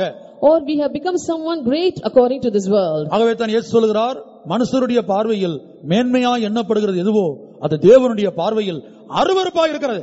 And that is why Lord Jesus Christ said, which things were found great in the sight of men were seen as an abominable thing in the sight of God. இயேசு சொல்லுகிறார் Jesus said, மனுஷருடைய பார்வையில் மேன்மையாய் எண்ணப்படுகிறது எதுவோ Everything that was seen as something great in the sight of men. நீங்க உலக பிரகாரமா ஒரு பெரிய படிப்பு படிச்சு பெரிய ஸ்தானத்துல இருந்து ஒரு கோல்டு மெடல் வாங்குனீங்கன்னு வச்சுக்கோங்க மனிதருடைய பார்வையில் அது மேன்மையா இருக்கும் Suppose according to this world you have studied well and got a gold medal, you will be appreciated as a great person among men. மனுஷருடைய பார்வையில மேன்மையா எண்ணப்படுகிறது எதுவோ அது எதுவா இருந்தாலும் தேவனுடைய பார்வையில் அருவருப்பா இருக்கிறது Whatever may be found great according to men, that is an abomination before God. லூக்கா பதினாறு பதினைந்து Luke chapter 16 verse 15. அவர் அவர்களை நோக்கி நீங்கள் மனுஷர் முன்பாக உங்களை நீதிமான்களாக காட்டுகிறீர்கள். தேவனோ உங்கள் இருதயங்களை அறிந்திருக்கிறார். மனுஷருக்குள்ளே மேன்மையாக எண்ணப்படுகிறது. தேவனுக்கு முன்பாக அருவருப்பா இருக்கிறது For that which is highly esteemed among men is abomination in the sight of God. அப்ப அந்தரங்கத்தை இருதயத்தை தேவன் பார்க்கிறார். Therefore God sees the heart, that is secret. அதுதான் அந்தரங்கம். That is a secret. உங்களுடைய இருதயத்தில் ஆழத்தில் இருக்கிறது அந்தரங்கம் Th- Those things which are in the bottom of your heart is a secret. அப்ப நாம் இன்னும் தெய்வீக குணாசலத்தை பெறாமல் அல்லது பூரணத்தை அடையாமல் இருக்க காரணம் தேவன் நம்மேல் கொடுத்த ஒரு தண்டனை Therefore, the reason why we still haven't got a child or we still we haven't got the perfection is the punishment of God upon us. அது நம்முடைய பெருமை நிமித்தமாக Maybe due to our pride. நம்முடைய பரியாச சுபாவத்தின் நிமித்தமாக Just because we mock at others. மற்றவர்களை அற்பமா என்றது நிமித்தமாக Because we despise others. இல்ல தகாத இடத்தில் ஐக்கிய வைத்திருப்பது நிமித்தமாக Or else we are having a wrong association. கர்த்தருடைய பரிசுத்த நாமத்துக்கு உண்டாகட்டும் Glory be to God's holy name. Isaiah இருபத்தி ஆறு பதினாறு மறுபடியும் வாசிங்க Let's once again read Isaiah chapter 26 verse 16. கர்த்தாவே நெருக்கத்தில் உம்மை தேடினார்கள் உம்முடைய தண்டனை அவர்கள் மேல் இருக்கையில் அந்தரங்க வேண்டுதல் செய்தார்கள் Lord, in trouble have they visited thee. They poured out a prayer when thy chastening was upon them. இதுவரை தேவ சித்தத்தின் பூரணம் எனக்குள் உருவாகவில்லையே என்று நீ ஏங்குவாயானால் ஒன்றை விளங்கிக்கொள் தேவனுடைய தண்டனை நம்மேல் காணப்படுகிறது If you are still yearning, saying, till now I haven't got the perfection in the will of God, understand this thing clearly, that is the punishment of God is upon you. நான் கர்ப்பவதியாயிருந்தேன் பரிசுத்தத்துக்காக கர்ப்பவதியாயிருந்தேன் பரிசுத்தத்துக்காக வேதனைப்பட்டேன் பரிசுத்தத்துக்காக வருத்தப்பட்டு அலறினேன் ஆனால் முடிவோ காற்றை பெற்றேன் பரிசுத்தம் கிடைக்கவில்லை I was with a child for holiness, I was in pain for holiness, and I cried in pangs for holiness, but at the end I brought forth the wind. அப்படி காற்றை பெற்றெடுப்போமானால் பரிசுத்தம் என்கிற பிள்ளை நமக்குள்ளே உருவாகாமல் இருக்குமானால் ஒன்றை விளங்கிக் கொள்வோம் தேவனுடைய தண்டனை நம்மேல் இருக்கிறது In this way, if we have brought forth wind and we haven't brought a child called holiness, we have to understand that the punishment of God is upon us.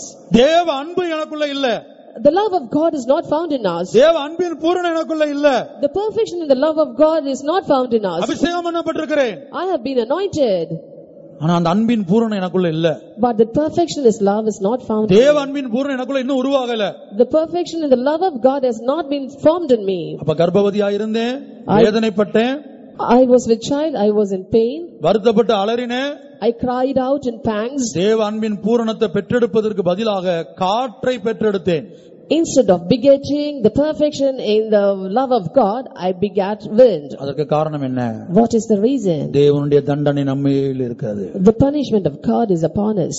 சில சம்பவங்களை நான் சொல்கிறேன் ரோமர் ஒன்னாவது இடத்துல வாசிக்கும் போது In Romans chapter 1, அங்கே மூன்று முக்கியமான வசனங்களை நான் உங்களுக்கு நினைப்பூட்ட விரும்புகிறேன் I want to remind three important verses to you. முதலாவதாக First, தேவன் அவர்களை அசுத்தத்திற்கு ஒப்பு கொடுத்தார் தேவன் ஒப்பு கொடுத்தார் God gave them over to uncleanness. அசுத்தம் ஒரு மலட்டுத்தன்மையா இருக்கிறது Uncleanness is barrenness. நமக்குள்ள பரிசுத்தம் என்கிற பிள்ளையை நாம் பெற்றெடுக்க வேண்டும் We have to beget a child called holiness. அந்த பரிசுத்தம் யாருடைய பரிசுத்தமா இருக்க வேணும் And whose holiness should that be? இயேசுடைய அதே பரிசுத்தம் The very same holiness of Jesus. ஆனா இன்றைக்கு நமக்குள்ள அசுத்தம் காணப்படுகிறது But today we have uncleanness in us. காரணம் என்ன What is the reason? அந்த அசுத்தம் நமக்குள்ள காணப்படுகிற அசுத்தம் தான் மலட்டுத்தன்மை The uncleanness that is found in us is the barrenness. அதுதான் தேவன் நமக்கு கொடுத்த தண்டனை That is the punishment of God to us. ரோமர் ஒன்னாவது படிக்கிறோம் தேவன் அவர்களை அசுத்தத்திற்கு ஒப்பு கொடுத்தார் In Romans chapter 1 we read, God gave them over to uncleanness. தேவன் ஒரு மனிதனை அசுத்தத்துக்கு ஒப்பு கொடுத்தால் யார் காப்பாற்ற முடியும் If God gives over a man to uncleanness, then who can go to save him? என்னையும் உங்களையும் பிசாசு அசுத்தத்துக்கு ஒப்பு கொடுத்தா தேவன் காப்பாற்றுவார் If Satan hands us over you and me to uncleanness, God will come to rescue us. நாமே ஒருவேளை துணிகரமா விரும்பி இச்சித்து போய் அசுத்தத்துக்குள்ள விழுந்தா தேவன் காப்பாற்றுவார் In case we presumptuously out of our own wish and lust, we fall into uncleanness, God will come to rescue us. ஆனா உன்னையோ என்னையோ ஆண்டவர் அசுத்தத்துக்கு ஒப்பு கொடுத்தால் But in case God hands you and me to uncleanness, தேவன் அசுத்தத்துக்கு ஒப்பு கொடுத்தால் if God hands us over to uncleanness, யார் காப்பாற்ற முடியும் who can rescue us? இரண்டாவதாக அதே அதிகாரத்தில் ரோமர் ஒன்னா அதிகாரத்தில் in Romans chapter 1, தேவன் கேடான சிந்தைக்கு ஒப்பு கொடுத்தார் God gave them over to reprobate mind. தேவன் ஒப்பு கொடுத்தார் God gave them over. அப்ப இது ஒரு மலட்டுத்தன்மை This also is barrenness. இது ஒரு தண்டனை This is a punishment. அடுத்து மூன்றாவதாக Third, தேவன் இழிவான இச்சை ரோகங்களுக்கு தேவன் ஒப்பு கொடுத்தார் God gave them up unto vile affections. இந்த மூன்று வசனங்களையும் வாசிங்க Let us read these three verses. ரோமர் ஒன்னு இருபத்தி நான்கு Romans 1:24. இது நிமித்தம் அவர்கள் தங்கள் இருதயத்தில் உள்ள இச்சைகளினாலே ஒருவரோடொருவர் தங்கள் சரீரங்களை அவமானப்படுத்தத்தக்கதாக தேவன் அவர்களை அசுத்தத்திற்கு ஒப்புக் கொடுத்தார் தேவன் அசுத்தத்துக்கு ஒப்பு கொடுத்தார் God gave them to uncleanness. ஏன் இந்த தண்டனை அவங்க மேல வந்தது தெரியுமா Do you know why this punishment came upon இது ஒரு them? மலட்டுத்தன்மை This is a barrenness. இது ஒரு தண்டனை This is a punishment. பரிசுத்தம் என்கிற பிள்ளைய பெற்றெடுக்க முடியல We are not able to beget a child called holiness. அபிஷேகம் பண்ணப்பட்டிருக்கிறோம் We have been anointed. கிறிஸ்து என்கிற புருஷனுக்கு மனைவியா மாறி இருக்கிறோம் We have become the wife of Christ, O, our husband. முப்பது வருடம் அவரோட இருக்கிறோம் For 30 years we are living with him, ஆனா அசுத்தம் But uncleanness. பரிசுத்தம் இல்ல No holiness. காரணம் என்ன What is the reason? தேவன் அசுத்தத்துக்கு ஒப்பு கொடுத்தார் தேவனுடைய தண்டனை அது It is the punishment of God. God gave them over to uncleanness. அப்படி தேவனுடைய தண்டனை நம்ம மேல வரும்போது நம்ம என்ன செய்யணும் When such punishment of God comes upon us, what should we ஏசாயா do? இருபத்தி ஆறு பதினாறு படி அந்தரங்க வேண்டுதல் செய்யணும் According to Isaiah 26, 16,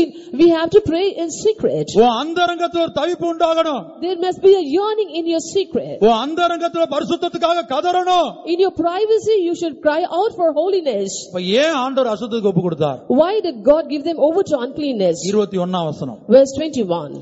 அவர்கள் தேவனை அறிந்தும் அவரை தேவன் என்று மகிமைப்படுத்தாமலும் ஸ்தோத்திரியாமலும் இருந்து தங்கள் சிந்தனைகளினாலே வீணரானார்கள் தேவனை அறிந்தும் தேவன் என்று மகிமைப்படுத்தவில்லை Because when they knew God, they glorified Him not as God. சுய மகிமைக்காக ஜீவித்தார்கள் They lived for the self-glory. மனுஷரை மகிமைப்படுத்தி ஜீவித்தார்கள் They lived glorifying men. தேவனை மகிமைப்படுத்தவில்லை They never glorified God.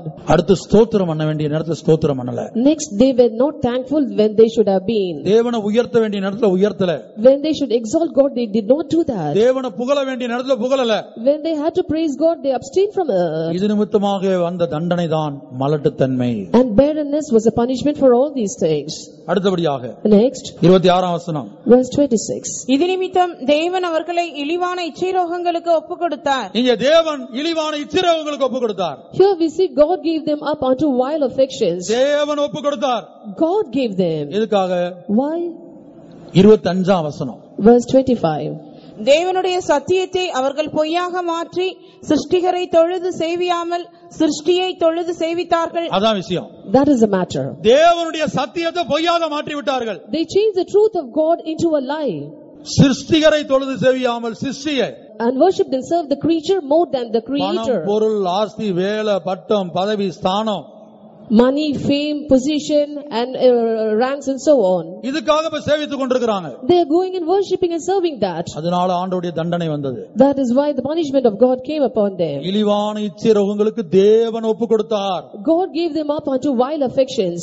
மூன்றாவதாக இருபத்தி எட்டாம் வசனம் verse 28. தேவனை அறியும் அறிவை பற்றி கொண்டிருக்க அவர்களுக்கு மனதில்லாதிருந்தபடியால் தகாதவைகளை செய்யும்படி தேவன் அவர்களை கேடான சிந்தைக்கு ஒப்புக் கொடுத்தார் தேவன் ஒப்பு கொடுத்தார் God gave them over கேடான சிந்தைக்கு to a reprobate mind. எதுக்காக Why? ஏன் இந்த தண்டனை வந்தது Why did this punishment come? ஏன் இந்த மலட்டுத்தன்மை வந்தது Why did this barrenness set in? தேவனை அறியும் அறிவை பற்றி கொண்டிருக்க மனதில்ல Because they did not like to retain God in their knowledge. தேவன் அறியணும் அறியணும் அறியணும். வாஞ்சையோட வந்து வேதபாட கூட்டம் காத்திரு கூட்டம் அஹ், சுத்திகரிப்பு கூட்டங்கள் கன்வென்ஷன் தேவனை அறியணும் அறியணும் அறியணும். அறிந்த தேவனை பற்றி கொண்டிருக்கணும். அறிந்த அறிவை பற்றி கொண்டிருக்கணும். அப்படி அல்ல.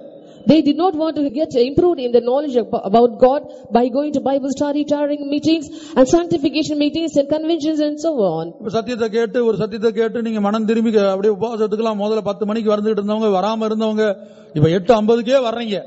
Now after listening to the truth, those who have listened to the truth now, those who were not coming to the fasting meetings and some who were coming at 10 o'clock now have started to come at 8.50 itself. அதுக்கப்புறம் ஒரு மாற்றம் உண்டாகிறது There has been a change then. அந்த பாஸ்டரோ அந்த பிரதரோ மாறி போறாங்க The pastor or the brother in charge is transferred. அடுத்து பார்த்தா இப்ப என்ன இல்ல எட்டு ஐம்பதுக்கு வர்றது ஆளை காணோம் Next, now 8.50, no people has come there. அதுக்கப்புறம் இப்ப பைபிள் ஸ்டடிக்கு ஆளை காணோம் Nobody has come for the Bible studies. காரணம் என்ன What is the reason? தேவனை அறிய அறிவை இவங்க என்ன செய்யல எல்லா காலமும் பற்றி கொண்டிருக்கல For they had not held to the knowledge of God all through.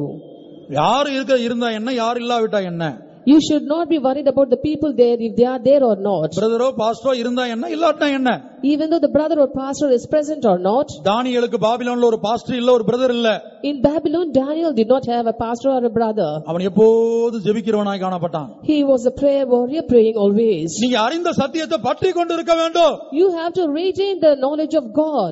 ஆகவே தான் பவுல் தீமத்தை எழுதுகிறார் That is why St. Paul writes to Timothy, நீ கற்று நி- நிச்சயித்துக் கொண்ட காரியத்திலே நிலைத்திரு you have to be established in the things that you have learned. இன்றைக்கு ஒரு வாழ்க்கை அடுத்த வருஷத்துல ஒரு வாழ்க்கைன்னு வாழாத Don't live a life for today and another different life next year. இப்ப எல்கேஜில படிச்சோம் You studied in LKG. ஒரு பாட்டு சொல்லி கொடுத்தாங்க Rhyme was taught there. எல்கேஜில சொல்லி கொடுத்த பாட்டு எனக்கு இன்னமும் ஞாபகம் இருக்கு I still remember the rhyme that I was taught in LKG. எனக்கு நான் வந்து எல்கேஜி படிக்கும் போது ஏ பி சி டி இப்படி சொல்லி தரல When I studied LKG, I was not taught the alphabets as A, B, C and D. நான் எல்கேஜில படிக்கும் போது ஒரு டீச்சர் பாடம் சொல்லி கொடுத்தாங்க My LKG teacher ஒரு taught பாட்டு me a சொல்லி song. கொடுத்தாங்க She uh, taught me a song. A B C D E F G H I J K L M N O P L M N O P Q R S T U V W X Y Z X Y Z இதான் பாட்டு I was taught to sing. அப்ப பாத்தீங்கன்னா எல்கேஜில சொல்லி கொடுத்தது இப்பயும் ஞாபகம் இருக்கு அந்த பாட்டு The song which was taught to me in LKG is still in my memory. இப்ப நீங்க யோசித்து பாருங்க நீங்க எத்தனை பிரசங்கம் கேக்குறீங்க எவ்வளவு சத்தியங்கள் கேக்குறீங்க? போன வாரம் பண்ண பிரசங்கத்தை கூட இன்னைக்கு சொல்ல முடியுமா உங்களுக்கு? Now you think so many messages and so many truths have been taught to you. If I ask you the message I preached last week, can you tell it now? அதே வேளை காலேஜ்ல பாத்தீங்கன்னு சொன்னா volume one volume two applied mechanics இப்ப நான் வந்து காலேஜ்ல படிக்கிற வேலை இன்ஜினியரிங் காலேஜ்ல படிக்கிற வேலை aeronautical engineering I studied aeronautical engineering and I had volume 1 and volume 2 in applied mechanics fluid mechanics fluid mechanics, strength of materials strength of materials. இப்படி வால்யூம் ஒன் வால்யூம் டூன்னு இவ்வளவு பெரிய புக்கு தலையில வச்சு படுக்கிற அளவுக்கு I had been in many voluminous books so that I could have it for a pillow. ஒன்னும் தலையில ஏறாது Nothing entered into my நான் head. படுத்து இப்படி வச்சுட்டு படுத்து தூங்கிறது அது மேல வச்சு தலைய வச்சு படுத்துறேன் I closed the book and lie down upon it. அப்ப பாத்தீங்கன்னா இப்ப நம்ம பிள்ளைங்க பாத்தீங்கன்னா அவ்வளவு பெரிய புக்கெல்லாம் படிக்கிறாங்க Our children has the capacity to study all these books. ஆனா வெளிப்படுத்தின விசேஷத்துல ஒரு பத்து அதிகாரம் படிங்கன்னு சொன்னா ஐயோ இது எவ்வளவு கஷ்டமா இருக்குது But in case we ask you to study some 10 chapters in the book of Revelations, they say and make a big fuss saying it is very difficult. அது பெரிய கஷ்டமா இருக்குது புரிய மாட்டேங்குதுன்னு சொல்றாங்க They say that, that ca- they cannot understand it and it is very difficult. Pavul தீமத்துக்கு சொல்லுகிறார் நீ கற்று நிச்சயித்துக் கொண்ட காரியத்திலே நிலைத்திரு St. Paul says to Timothy, you have to be established in the things that you have learned. இன்னொரு ஐம்பது வருஷம் கேட்டாலும் உங்களுக்கு என்ன செய்யணும் சத்தியம் அப்படியே ஞாபகத்துல இருக்கணும் அந்த பாட்டு ஞாபகத்துல இருக்கணும் Even after, I, if I ask you after 50 years, you must have those truths in your memory. எந்த பாட்டு ஏபிசிடி பாட்டு அல்ல Not that ABCD song, சத்தியத்தை பற்றிய பாட்டு the song about the truth. சத்தியம் ஒரு பாட்டா இருக்கிறது The truth is a song. ஜீவியம் ஒரு பாட்டா இருக்கிறது Life is a song. தேவனுடைய பிரமாணம் ஒரு பாட்டா இருக்கிறது The laws of God are songs. Pastor V L Chacko அவர்கள் அடிக்கடி சொல்லுவார் Pastor B.L. Chacko used to say often. V L சாக்குங்கிற pastor சொல்லுவார் ஒரு வயசான pastor Pastor V.L. Chacko was an old pastor. அவர் குன்னு சென்டர்ல ஊழியம் செய்யும்போது When he was working in Kunur Center, மோசேயின் பாட்டு the song of Moses.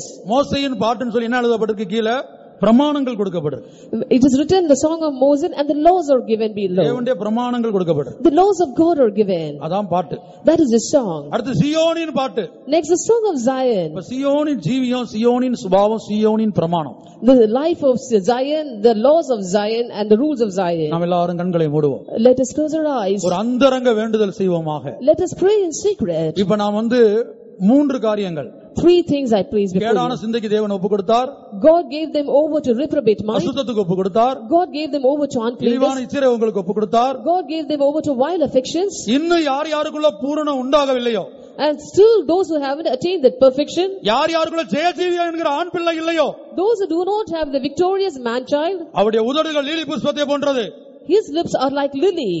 வாசனை உள்ள வெள்ளை போல வடிந்தது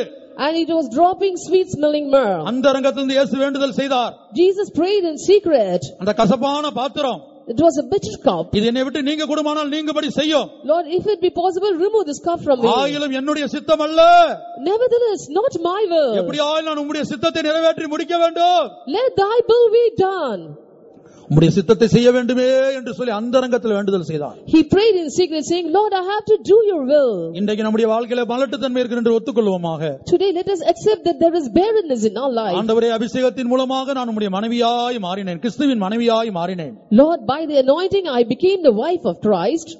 உம்மோடு இருபத்தோரு வருடங்கள் நான் ஜீவித்தேன் ஆண்டவரே Lord, I lived along with you for 21 years. ஆனா இதுவரை உம்முடைய பிள்ளை ஒன்று எனக்குள்ள உருவாகவில்லை உம்முடைய பரிசுத்தம் என்கிற பிள்ளை But till now, your child has not been formed in me. For example, the child called holiness, தேவ சித்தத்தின் பூரணம் the child or the doing the will of தேவ God, அன்பின் பூரணம் the perfection in the love of God. பாவிகளுக்காக ஜீவனை கொடுத்தீர் You have given your life. ஒன்றியவால படிக்கிறோம் In 1 John we read, தன்னுடைய ஜீவனை கொடுத்ததினாலே இயேசு அன்பு இன்னதென்று விளங்கப்படி இருக்கிறார் and he, by giving his life, he has shown his love towards us. இன்றைக்கு நம்முடைய சத்துருக்களுக்கு நாம் ஜீவனை கொடுக்க முடியுமா Today, can we give a life for our enemies? இல்ல சக விசுவாசிக்கு சக ஊழியருக்கு நம்முடைய ஜீவனை இன்றைக்கு நாம கொடுக்கிறோமா Or are we prepared to give a life for our co-believers and saints? ஜீவனை கொடுக்க முடிகிறதா Are we able to give our lives? இல்ல No. இல்ல No. காரணம் என்ன What is the reason? மலட்டுத்தன்மை Barrenness. ஏன் இந்த மலட்டுத்தன்மை Why is this O barrenness? தேவனுடைய தண்டனை It is a punishment of God. தேவனை அறியும் அறிவை பற்றி கொண்டிருக்கவில்லை We have not retained the knowledge of God. தேவனை ஸ்தோத்தரிக்க வேண்டிய நேரத்தில் ஸ்தோத்தரிக்கல We did not thank or praise God when we are asked to do. சத்தியத்தை பொய்யாக மாற்றினோம் We had made the Creator into a lie. சத்தியத்தை என்னுடைய வசதிக்கேற்றபடி வளைத்தோம் We had bent the truth according to our convenience. பரியாசம் பண்ணினோம் We mocked at others. அபிஷேகம் பண்ணப்பட்டவர்களுக்கு விரோதமாய் பேசினோம் அவர்களை கடிந்து கொண்டோம் We spoke against the anointed people of God and rebuked them. வேறுபாட்டின் ஜீவனம் செய்யவில்லை அபிமெலேக்கின் குடும்பத்தாரோடு ஐக்கியம் வைத்திருந்தோம் We did not lead a life of separation for we had association with the family of Abimelech. லேயாளை அற்பமாய் எண்ணினோம் We hated Leah.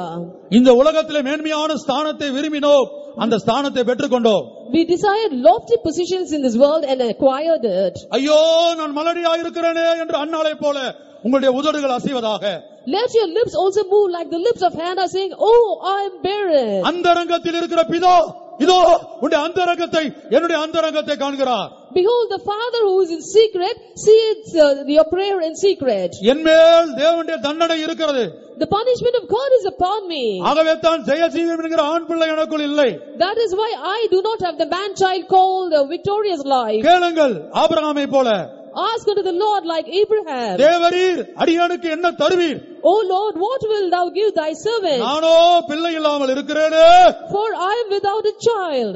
கேளுங்கள் ராகேலை போல Ask like Rachel.